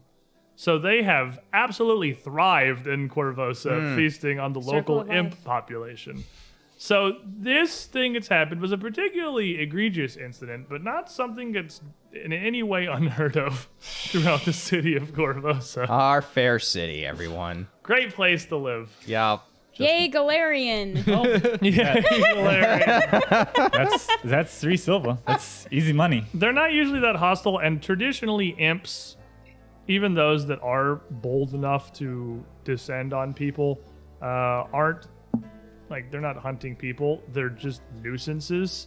Like if you had just given them your gun, they almost certainly would have left you alone. You're obviously not going to do that, but I mean, most people who aren't a party of adventurers that feel confident fighting them off, they'll just like give them whatever they want, so they will leave. Because they are surprisingly dangerous with if they get ornery Yeah. especially in a flock. Like 15 imps show up and they're like, we want all of your bread. and you're just like, here's my basket. Don't kill me. I wonder if we have to take out imp insurance in case the imp come and take stuff. Thriving business here in Korvosa. Yeah, the imp insurance Imp industry. insurance. uh, uh, uh, uh, all right, anyone hurt? I mean, Uh, yeah, you got me a couple Uh, times. everyone, everyone, gather around. Everyone, gather around. Gather around. Gather around, children.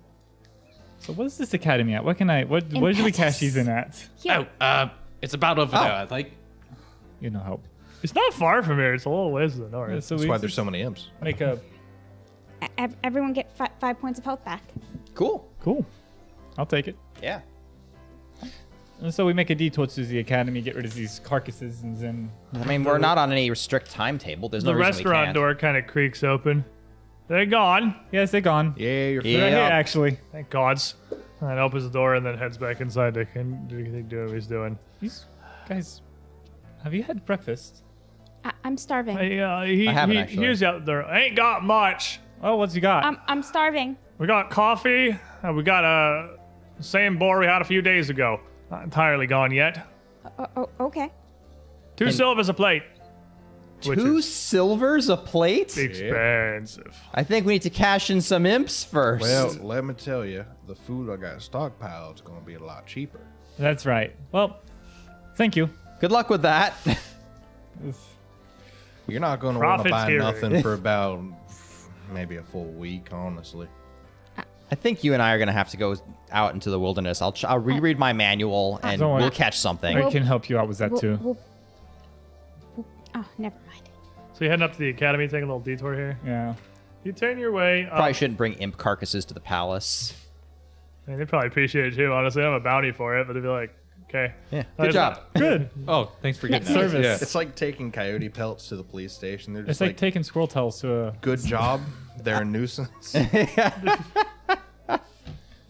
More or less, yeah. That's that's actually pretty. Uh, it's about how. Game it- wardens Look up next the door. American War on Squirrels. So as you move up, they have a fine description of the university in here. I just there they this is almost backwards mode. They have so many things that are described so thoroughly, and I wasn't prepared for us to come over here because I didn't really consider that this was going to come up. Uh, oh, you killed the imps with the bounty. You want to go turn the bounty in? Oh, mm. Ah, there's no bounty. Sorry. I misspoke the wrong thing. What you're next to is the University of Korvosa, which is not the academy, which is where all the imps that are. Um, the academy is in the Heights, which is way up north, actually. Or the Heights is uh, Way down Heights way up south. west. It's actually the same district that the castle's in. It's actually a little past the castle. It's on the other side. we, same we, direction we we're can do it after. Same We can do it after. going. I mean, we're literally gonna carry imp carcasses around no, we us. can do it now. We're not For in a hurry. three silver? Absolutely. For the uh, the map, by the way, if you want to pull the map of Korvosa real quick so we can see Like it. for I forgot this is literally peasant? what it is. They would carry those bodies around the city five times. Mm, yeah, somehow. The academy is an absolutely massive establishment, and uh, it is something that uh, I, I just told. I saw university on the map, and I was like, "Oh yeah, that sounds right to me." Uh, it is a huge campus that takes up more actual like land space than the huge pyramidal citadel of Castle Korvosa itself. Uh, it is to the north of it, uh, the north end of the heights, almost towards the Narrows and Old Korvosa. It is. It is actually a distance. It's a bit of a distance. You can just turn Fog of War off for this map.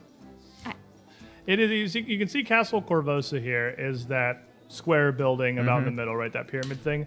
That huge T in the circle north of that is the Academy. Ah, Uh, and you are currently east of Castle, like almost due east of Castle Korvosa. So it is actually a pretty decent distance. okay. D- Darren, what what do they do at the academy?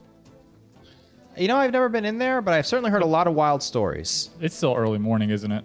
It's still early morning, yes. Yeah, we have plenty of time. We can just detour over to the academies and go to the castle. I mean, it's I'm not a- like we're pressed on time. does- I'm And you up would for know that the Academy itself is one of the most uh, prestigious things Korvosa has, really. It is one of the more renowned wizard schools throughout the entire Inner Sea region. Uh, it is an it is like the Harvard of mage academies. Have you ever considered summoning something other than imps as Well- a test?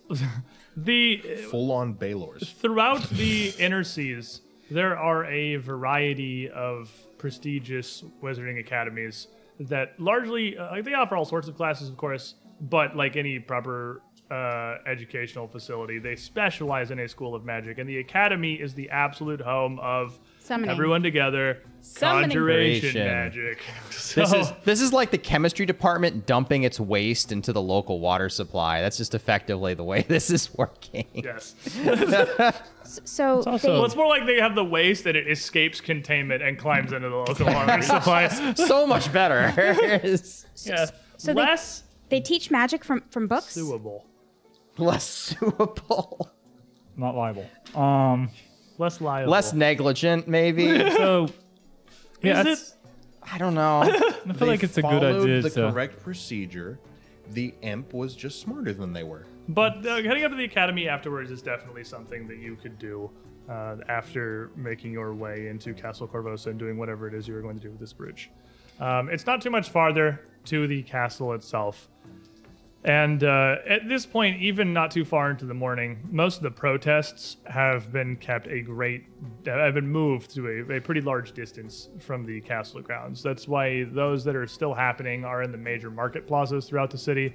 Uh, the Korvosan Guard, the Sable Company, and the Hell Knights of Korvosa were able to get this under control kind of surprisingly quickly. I would say end with minimum bloodshed, but I'm not going to lie to you guys. Hell Knights do I'm not gonna say- care. Hell Knights do not care. Uh, you would, as you're passing through the streets here, uh, like some talk of things, some doors you're walking past, there are people that uh, are just around, uh, and especially to get close to the castle. It sounds like the guard and the Sable Company were doing their best to bring order to the city and get everything under control. But as soon as the Hell Knights came out, everyone calm down real quick. you can say what you want about the Hell Knights. They are nothing if not efficient. They're good at their And, job. they have a reputation. And that reputation was almost that it was enough to remove most of the uh, angry rioters from the streets. Hang the queen! Hold that walks out. My bad. Sorry. Have a nice day. Sorry. Hang the next the- country over. The queen is what I was calling my laundry. I don't want to. It's. I'm sorry. I I have a thing. I have to go home. I, I take medication. Nobody messes with the Hell Knights. no one. Uh, but at this point, Asmodeus is just like, "Eh, they're cute. At this point, Castle Korvosa is much more under control, but very locked down. Uh, even as you approach the building, you can still see a uh, platoon of soldiers wielding uh, pole arms and heavy crossbows lined up around the outside of the building. Uh, at each, and it, the castle's approachable from any of the four directions. All the main roads lead to a staircase, leads up into the, into the structure itself uh, with more crossbows almost just bristling out of the sides of the thing, where pairs of these guards are per, uh, posted up and down the stairs. Uh, it's it looks pretty well secure. Uh, the castle is far and away the largest single building in Korvosa, a massive and imposing black structure, a testament to the power of whatever overlord ruled this land thousands of years ago, long before it was Korvosa. I haven't seen it up up close before. it is hundreds of yards across and and massively tall. Oh, it's a lot of stone. You must it's be. beautiful. It doesn't look like we can just walk in. There's a lot of. I've read pointy books. objects. I've read books about it, about how it was built, but wow, being up close to it is it's really incredible. The foundation of the castle itself is an ancient monument, which is a, a black pyramidal base that the castle sits on top of. Its walls and spires extending a great reach up into the sky. Uh, and like I said, each of the four castle roads from the various directions leads to a massive staircase up the side of this pyramidal base to the four gates of Castle Korvosa proper.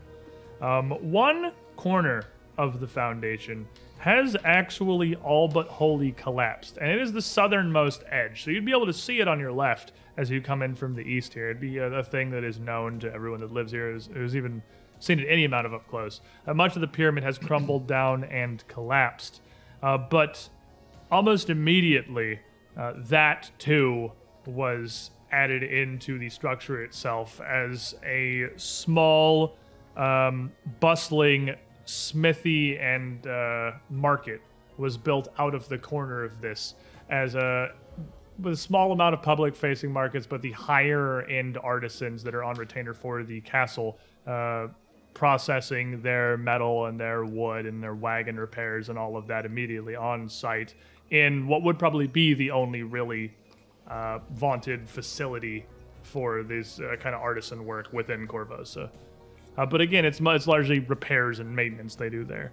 Uh, it, it gives it a very unique and immediately recognizable uh, silhouette as a landmark. This three-sided pyramid with this thing collapsed into this massive, intricate work of shops and facilities. It's it's another But- three-sided pyramid. Ooh, one side of it collapsed. Yeah. Oh, okay. all right, all right. So it ends up being three, three right. cornered, I All right. suppose. So that's four sides. Uh, but as you approach, normally, if any of you that live in the city have ever had business in the castle before, which I'm 50 50 if that's ever happened, or wanted to come in for whatever reason, I'm gonna say no. I've studied it a lot. so probably none of you have physically been Yeah, here probably before. never have actually been. And then you Probably would- never walked even close enough to get a good look at it. you would uh, move up, clearly approaching the staircase here with like a half dozen guards posted at the bottom with their large uh, round with their large squared shields and their pole arms, and uh, immediately all six of them would pivot a bit, not like in a practiced unison motion, but like as they saw you were approaching, just kind of adjust the shield around, lower the points of their halberds, and the woman in the front would address you immediately. What business have you at Castle Korvosa? Uh, re- returning lost property. Returning lost property. The, the what? The guard? Take it to Citadel of Volshyenek. The, the, the, the queen's lost property. Indeed. I suppose this is more of a query than a returning necessarily. Where would we take something like that? Obviously, not to the front gate. And I imagine there'll be someone wanting to ask us questions. We have answers to them. And she uh, still not sure. puts her halberd up, and uh, they all kind of relax their stances a little bit. And she she sort of comes forward. Property of the queens. What and how did you come across it? Ah, That- those those questions right there. That, that, that's kind of a longer story, but it, it well, it's this. And you pull the brooch out, and uh, she takes the halberd up and put loops it through uh, sling across her back, and just kind of uh, holds out her hand for it, and takes it. So you can hand it to her. Yeah, He is. His, his hand is shaking a little, but he's handing it She'll to her. She'll just take it. Bloody hells. Uh, one, one moment, please. And she heads back to the group of guards. And you see all the guards kind of like shuffle a little bit closer, like towards where she's coming. Like everyone kind of wants to look. Their focus is turned from you guys to what doing. That's And a lot of pointy sticks for a castle you're supposed to just be able to walk into. Well, uh, yeah, I can kind of understand it with the recent unrest. Better safe than sorry. And she comes over and uh, walks up to another one of them, and then three of them kind of huddle up. Three of them are sort of on the side, look over, and then look back to you guys, and just kind of go back to like scan the area, and obviously trying to sort of like they want to know, but like the defense discipline has definitely dropped at this point. The three of them are talking together for a moment. She's clearly showing them this brooch, and she uh, hands it over to another guy who slings his pole arm uh, back as well and uh, uses his free hand to unbuckle the attachments of this pretty massive. It's not quite a tower shield, but it's a huge shield, a squared shield he has attached to his arm, uh, and takes it off, and uh, goes over to a small station they have at the bottom of the stairs. It looks like it's very much uh, temporary. It's been cobbled together, a small stash of supplies and uh, basic uh, areas for them to rest, and sets his shield back behind the thing. And then comes back out and raises a hand to the you. Uh, aye. We can take a. I, I suppose this is definitely the Queen's. You'll follow me. Ah, that, there we go. See, there we go. You, you sure? You, you sure they're not gonna gonna- gonna hurt us? Oh, but uh, of course not. No, we're here Can under you- legitimate business. We have real reasons. do They'll us- of course have questions. Do us a favor and assure my friends here that you're not going to hurt them. Of course. A bit paranoid. Understandably, uh, we need assurances that uh, you intend the same. You'll be leaving your weapons here at the station at the base of the stairs. oh, of course. Oh, of course. Perfectly fine. I trust no one else other than a guard. Do you want some help with that, John? I can. we'll just put. We'll just leave you here. I am the weapon. Um, weapon. He just sound does like a one weapon. clasp and then just kind of shuffles out of this, and the Do you weapons want me stand to up on their own. Stay inside or Hey, oh, you're fine. You'll be oh, okay. Floblin, uh, as you're putting your sickle down in this little rack here, need some fuel for your fire, I think, my friend. Go up to three, comrade. There was Thank a card you, in the Mr. rack. Jake Dean Paler. Daring attempt. How hard could it be? Oh no. That sounds like one of those roll with an advantage or fail and get a Well, horrible I don't punishment. think that we should have given that to Floblin. but you uh, you put all your weapons down, and uh, as each of you look like you're done, he. No, who would probably, I guess, who has the least weapons? Me. I don't have Floblin or any. Art. You have nothing? So uh, I mean, I, yeah, I just got a sickle. That's it. Arden, uh, as you, you done, he would motion you to come over and just kind of uh, show you his hands from it. Just gonna check and just briefly pat you down. I, I, I, I have I have I have this, but it's it's a it's a focus for, for my magic. I can't, I can't really unhand myself of, of that. And he he, he take as he sees that. I, All I, that. I, s- I swear not not to use it with, within the, the Can't let you palace. bring it in. He- he- Here, here, please, I'd have to have the wizards look it over. They're busy. pl- I please, don't know nothing about magic. please, please be careful with it. Look, I can promise you, you got all the rest of the retainer down here. Nothing's gonna happen to any of your things. Um, and then he would turn probably to Floblin and kind of look at you, and he just he just sort of does like a- Floblin that like even doesn't even actually touch him. Like you're good. That's understandable.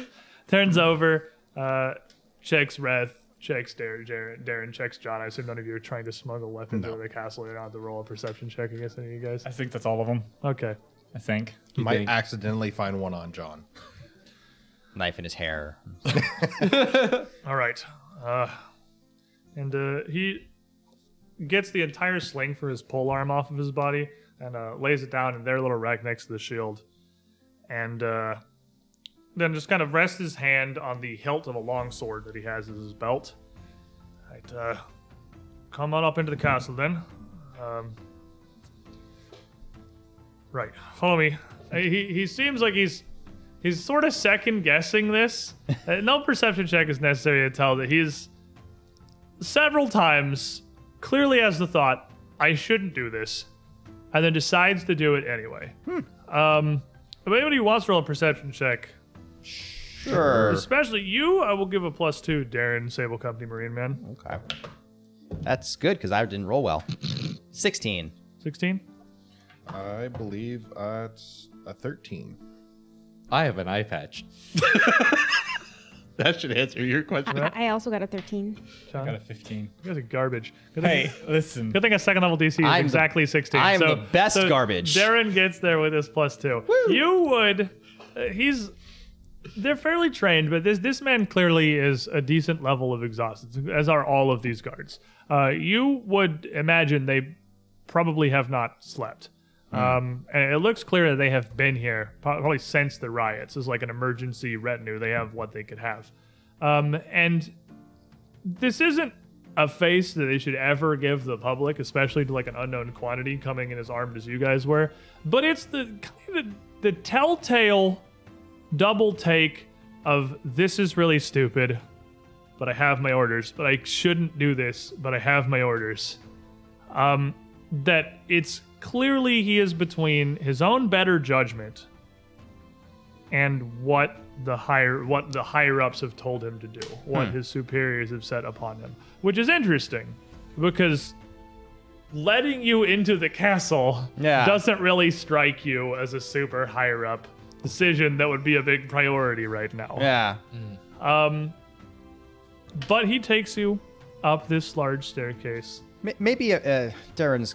Yeah, he's going to try this. Uh, so he's going to kind of try to comfort Arden loudly. Just say, It's okay. Ab- Abadar has planned all of this out. We actually have a place here. We're returning stolen property. Everyone is doing their job. Even though it's a very high risk place, there's no there's no danger for us because we're acting rightly within our position within the society. Well, well yeah, but that that that is live in that a is society. that is true. But do, do you know that this uh, this this this castle and, and he'll he'll start kind of rattling off facts about the castle and how it was built and what stones and how old the stones were. Oh, I had no idea. Do go on. Through this conversation, Are doing a little better. through this conversation uh, and the jangle of your assorted armors as you ascend the staircase up the side of the pyramid here to the castle gates.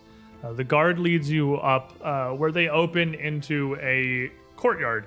The outer walls of the castle itself, at the top of the pyramid, are completely detached from the interior structure. it's like I told you. Leaving like a large, full courtyard that goes all the way around the uh, primary castle, uh, primary keep itself on the inside. Uh, there are several other structures and buildings throughout this courtyard built built into the inside of the wall or freestanding. Um, there are notably a set of hippogriff stables against the uh, southeastern wall here, where some of the Sable Company's birds are still set. That you can see that they've flown, possibly the ones that they've flown in from last night. In fact, they would be completely full uh, at the moment. But they would lead you into the castle proper and up a wide set of winding stairs just off the main entryway to the third level of the castle. And into a uh, small but not uncomfortably so, not cramped reception area. Um, where there is a single table and a chair in the distance, and only a couple of doors leading in and out. Uh, inside, sat or standing next to the desk, is a woman drawn up in incredibly spectacular full plate. If you're looking for this art, it's not on there. Uh, incredibly spectacular full plates. Uh, very well wrought, engraved, and embossed all across. Like the ones on the cover of the book. Yes.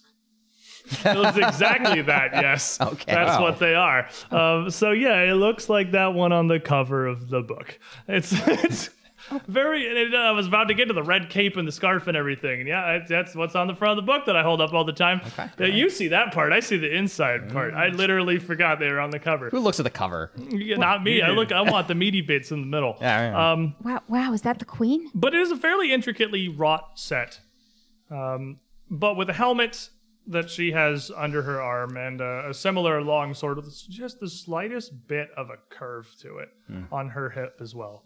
Um, she has pretty long black hair that runs down past her shoulders that isn't tied up at all, which tells any of you with any kind of military experience that she didn't just like take the helmet off or anything. She is just wearing it as a purpose of or holding it as a purpose of presentation. She clearly has not had it on recently, uh, but she is quite attractive. She's got really dark eyes, a fairly sharp nose, um, rather heavier features, but not overpoweringly so. Uh, you can tell even just from the bit of her, like the neckline and what you can see under the armor, that she is uh, very well built under that set of full plate. Uh, but she kind of nods as the group of you enter, uh, sort of quickly to the group of you. Uh, greetings. I've received word that uh, you found something that belongs to the queen. Is this correct? Do I know? Does this person have a rank or? It would not be someone you would know. They would not be a direct attachment to either Sable Company or the Korvosan Guard. This is like a Royal Guard kind of thing. Okay. It's a separate. So uh, Darren's mind is gonna go. She's highborn, basically, is kind of where his. That's not wrong. She, it would be. You would recognize her attire for sure as Royal Guard. Yeah. Um. So that is a totally separate entity from the other two. Uh, Well, Arden's be just gonna bow. uh, my lady, uh, we uh, discovered this. Uh, we discovered this brooch at the. Uh, um, well, I guess we'll start at the beginning. Uh, there's a petty criminal who is causing a lot of trouble. Uh, well, a few days for quite some time. He kind of raised his hand. I think this is a story not so much for me, perhaps, but for the queen herself. What? The queen herself. Were you un- an- under any misconceptions? Well, I No, was Her no. brooch, she would like to thank you for its return. Oh, I- thank. I just oh, don't think wow. it would be as easy. I wasn't. just- I wasn't dressed. Um, I guess. We just thought we were going to be returning the brooch. I- There's no worry. She understands the situation in her city. If she okay. is, well, goodness gracious, I wouldn't have thought that. Uh, I don't know what to What's say. the proper etiquette for greeting a queen? Does my hair look okay? Howdy, ma'am. And uh, as, as the guards, I, the guards are can't still salute her. the guards are still kind of behind you, and she she turns past you. The guards, you may return to your posts. These heroes pose no threat to the queen. Clearly, these, these idiots are gonna be it's like fine. I could kill them all. I mean, they did strip all our weapons and ice. And the the gods the guards nod and uh, salute briefly, and then turn and head back down towards the stairs.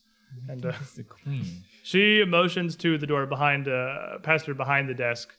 Welcome to Castle Korvosa, and uh, opens it in the office and just gestures for the group to step through.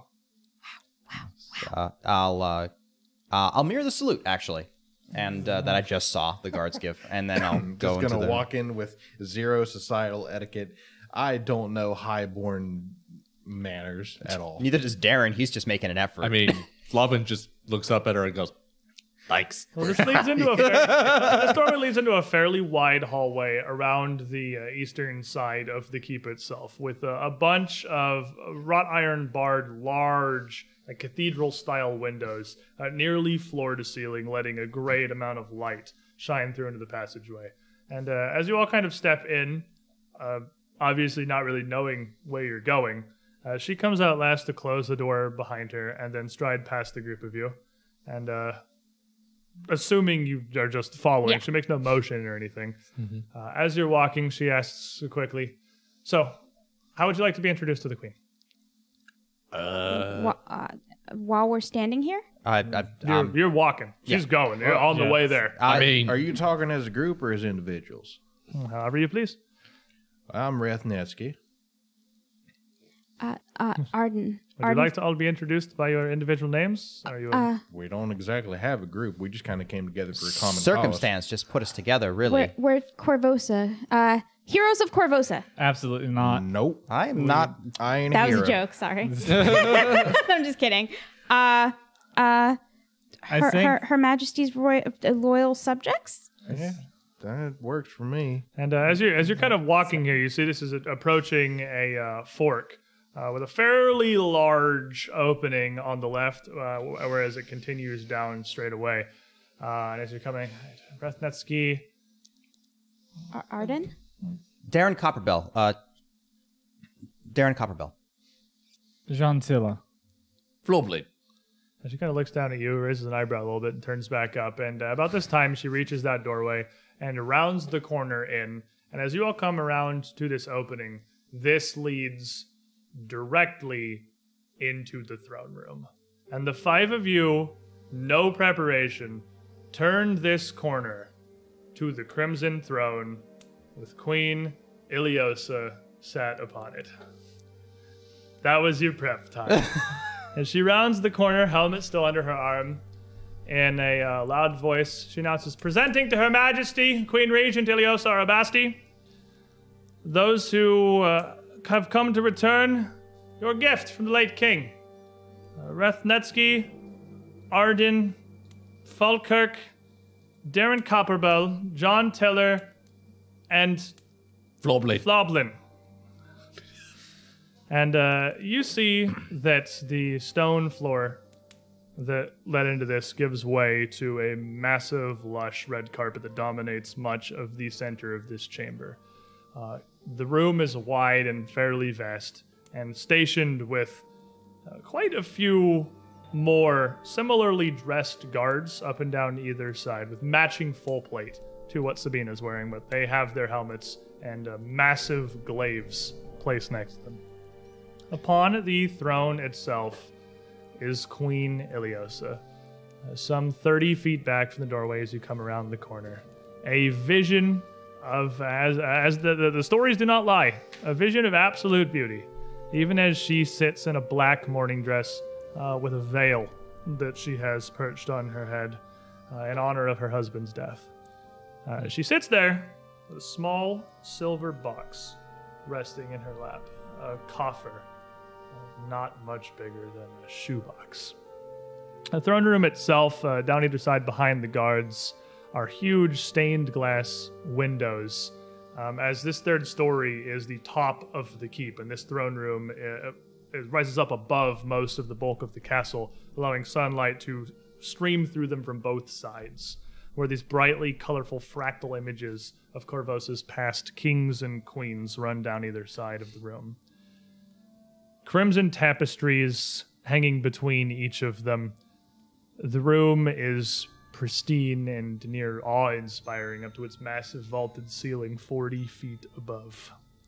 Uh, there is a huge fireplace back behind the throne, uh, which gives the room a decent warmth, even with its size. But the light from the fire, dominated by the sunlight streaming through these stained glass windows here, uh, giving it an almost sort of unreal appearance. Is this all this mix of these reds and oranges and yellows and even the bits of blues and greens from the art in the windows? Oh God, what am I doing here? And uh, Sabina, who took the bridge for you when you came in, uh, continues walking after the introduction all the way up to the throne, ascending a pair of small steps, uh, where she kneels down before the queen, and bowing her head, holds the brooch up to her.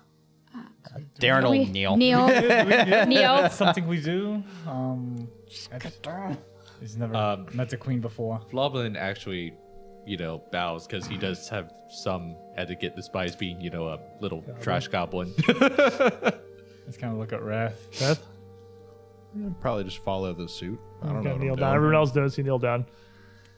Um, Ileosa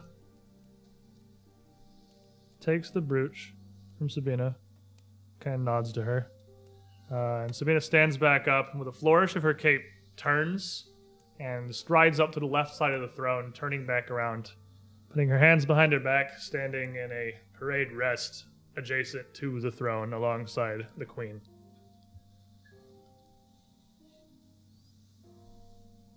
She just kind of holds it in her hands and looks it over for a moment. You may rise, my subjects. All right, rise we shall. And uh, so too is she, as she uh, takes the little coffer off of her lap in one hand and stands up from her throne, not going, not moving anywhere, but standing as well. Uh, the small uh, plinth she's on here, this raised dais, putting her about a foot over most of the rest of the room. This brooch was stolen from me some time ago. I had not expected to see it again, truth be told. And yet, you know, on my darkest day, you come before me with kindness. And uh, she turns and lays the brooch down on the huge, wide arm of this throne, so you can hold the coffer with both hands. And uh, looks at it for a second before she looks back up at the group of you. The return of this brooch is much more than an honorable deed. This is inspiration. Is hope. I love Korvosa, as my husband did before me. His death has shocked the city, as it has me. But I will not see his legacy destroyed in death, and I shall not see his city torn apart. All Korvosa stands at the precipice of a disaster wrought by her citizens. You have seen the riots, I am sure. They cannot continue. You have already done my heart a great service in returning this precious heirloom to me on this dark day. She casts her gaze back down to the brooch on the armrest. And you shall be rewarded. And she holds the coffer a little bit. And uh, Sabina steps forward and she hands the coffer to Sabina, who takes it, bowing her head, and then comes down the stairs up towards the group of you and presents it out to whoever would be closest. Well, John. Yeah, just. Does that open it? Is that reach of etiquette? We're As he's opening it. Opening it up inside, uh, this chest itself is a beautifully wrought little piece of silverwork. Like it, it itself is probably quite valuable. But inside the red velvet lined interior are eight solid gold ingots imprinted with the royal seal of Korvosa. That's why it's so heavy. Well, heavier than you expected to be, perhaps. The ingot, not huge ingots. Like an ingot's So- like, like a little. It's so heavy. Bullions. nugget. It's little, yeah. They're like little couple inches. Like still heavy. It's not like a giant iron bar. Yeah. They're and they're very thin. Okay. So it's not like it's not you didn't get ten pounds of It's gold. heavier than it looks. That's fair. your your your majesty i'm i'm so sorry about the the king he's he's the king to us but to you he was your husband and no you shouldn't have had to to face that and i'm i'm so sorry I appreciate your sympathies. Truly, I do. That you have brought such a small piece of his affection back to me warms my heart. But if you too love this city, there's more I would ask of you. I would. Korvosan guard is stretched thin. Could certainly use the aid of heroes such as yourselves. If you so choose, I will have Sabina see to it that you have an escort of guards when you leave here. They can see your safe journey to Citadel Volshyenek by High Bridge. I'll send word ahead of you to Field Marshal, uh, Field Marshal Cressida Kroft. Let her know that you are on the way. I must retire to my chambers. I apologize for this brief visit, but my grief has drained me. Again, I thank you for the kindness that you have shown me, and I hope your days of serving the crown are only just beginning. Yes, Your And, uh, Majesty. this doesn't- Long uh, live the queen. long live the Queen. Long live the queen. And uh, she looks at you with a small smile and just nods very shallowly. And then uh, steps forward as Sabina has made her way back to the throne. And, uh, she, uh, and the queen extends her hand, and Sabina takes her arm and helps her down the few steps and uh, round behind the Crimson Throne itself out of sight for a moment, leaving you just sort of here in the throne room. The High Marshal? That doesn't leave a lot of room to say no, does she? The High Mar- This is a royal order. We're- of course you're not saying no. We can't say no. We have to help her. She she's in trouble. We don't Well, have to help her. I her. think she really overestimates what we can do, but I, I, we, we're gonna do our best. I I- think we're heroes. I think it's what just- we were meant to do, right? Well, mean, No. what? the circumstances, we can't really say no. I haven't even graduated yet, and I'm going to meet the High Marshal. I'm Listen, just think of it as a field city. promotion. It's not even my city. Field Marshal, mm-hmm. but but it is Marshal's a pretty high rank. let me let me tell you something. I didn't think I'd be able to get my revenge on Lamm anytime soon, but with you guys helping me, we did. I thought was impossible. I'm not- And it's apparently he's a big crime lord in the city, so if we can do it, do that together, I'm pretty sure we can do anything. I don't think he was a big crime lord. He was Darren, lucky. If we do this, he was a we might be to able me. to find my my, my nephew. And besides, two of, Of us still course. have At this course. point, Sabina comes back around. Her, her helm gone. Uh, back around from behind the throne, Do making her way her now? her step around to the front of the throne and then turning to face you directly. Start folding your hands in front of her.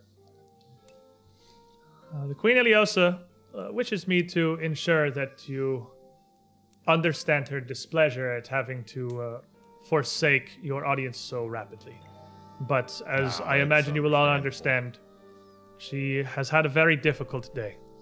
Of course. audience we knew we were having. So God God bless her for coming out for even so short of time. You have done her a greater service than you realize. That's brooch. It means a great deal to her. Can can we do anything anything more to help? I don't know how it got stolen in the first place. Something so valuable from the castle. Korvosa certainly wants for aid in these dark times. If you would accept the Queen's offer, I will organize an escort for you to Citadel of Volshyenek. You will need not fear those still roaming the streets. You will have an audience with the Field Marshal Kroft. And Be my honor. I I know it's a little probably rude to ask, but what do exactly do I get out of it? Besides helping the queen in her good graces. It's a service to the Queen Regent of Korvosa, not a reward in and of itself. I'm sorry, but this is not my city. I'm not from here. you know, you might be a It's a bit forward, and I apologize, but You will be paid, of course. that's all I wanted to hear. Oh, I I mean, I think it's our destiny, so of course we're going. You see her kind I of actually live here and greatly appreciate the Queen's faith in me. I mean, I would I'm like it if people would be Dan, less but I likely don't to stab have me. any coin. I just holding my coin purse, and like you hear two copper pieces dingling in it. Like I don't have anything. We have to protect her. Uh, Sabina starts uh, walking towards you. They're closed now, like 20 foot gap back to the throne. And as she approaches, if you will follow me, I will escort you back to the gates of Castle Korvosa and have you seen on your way. Hey, And uh, walks straight through the group of you back to the doorway from which you had insert, entered. Again, just assuming you will follow behind her. following her. I mean, Gotta go get my gun. Right? Gotta go There. get my pile of weapons. I think we have a pretty decent hook. oh wow. I like how you keep tying that back in. What? I like how you keep tying back back. in. Yeah. You're really, you're really smart. Minute. Big Ooh, that's the name of the show. That's the name of the thing! and then we roll the credits. We do roll the credits. well, we roll after the a, dice, then we roll A the brief credits. outro. Uh, that is going to be where we conclude today's adventures. With So our when are we doing skull and shackles, the hook? But everyone has to have one hook hand. You can choose left or right. no, right. This is the hook. I can wear two white patches. You have to have one. You All right, we, there has to be something to say that like we came here and they're like these idiots. Just what, we're not worried about them. These idiots. We're We're giving children. them. We're giving them swords and letting them go Like do they're adult clearly things. desperate. he grabbed Rabble off the street.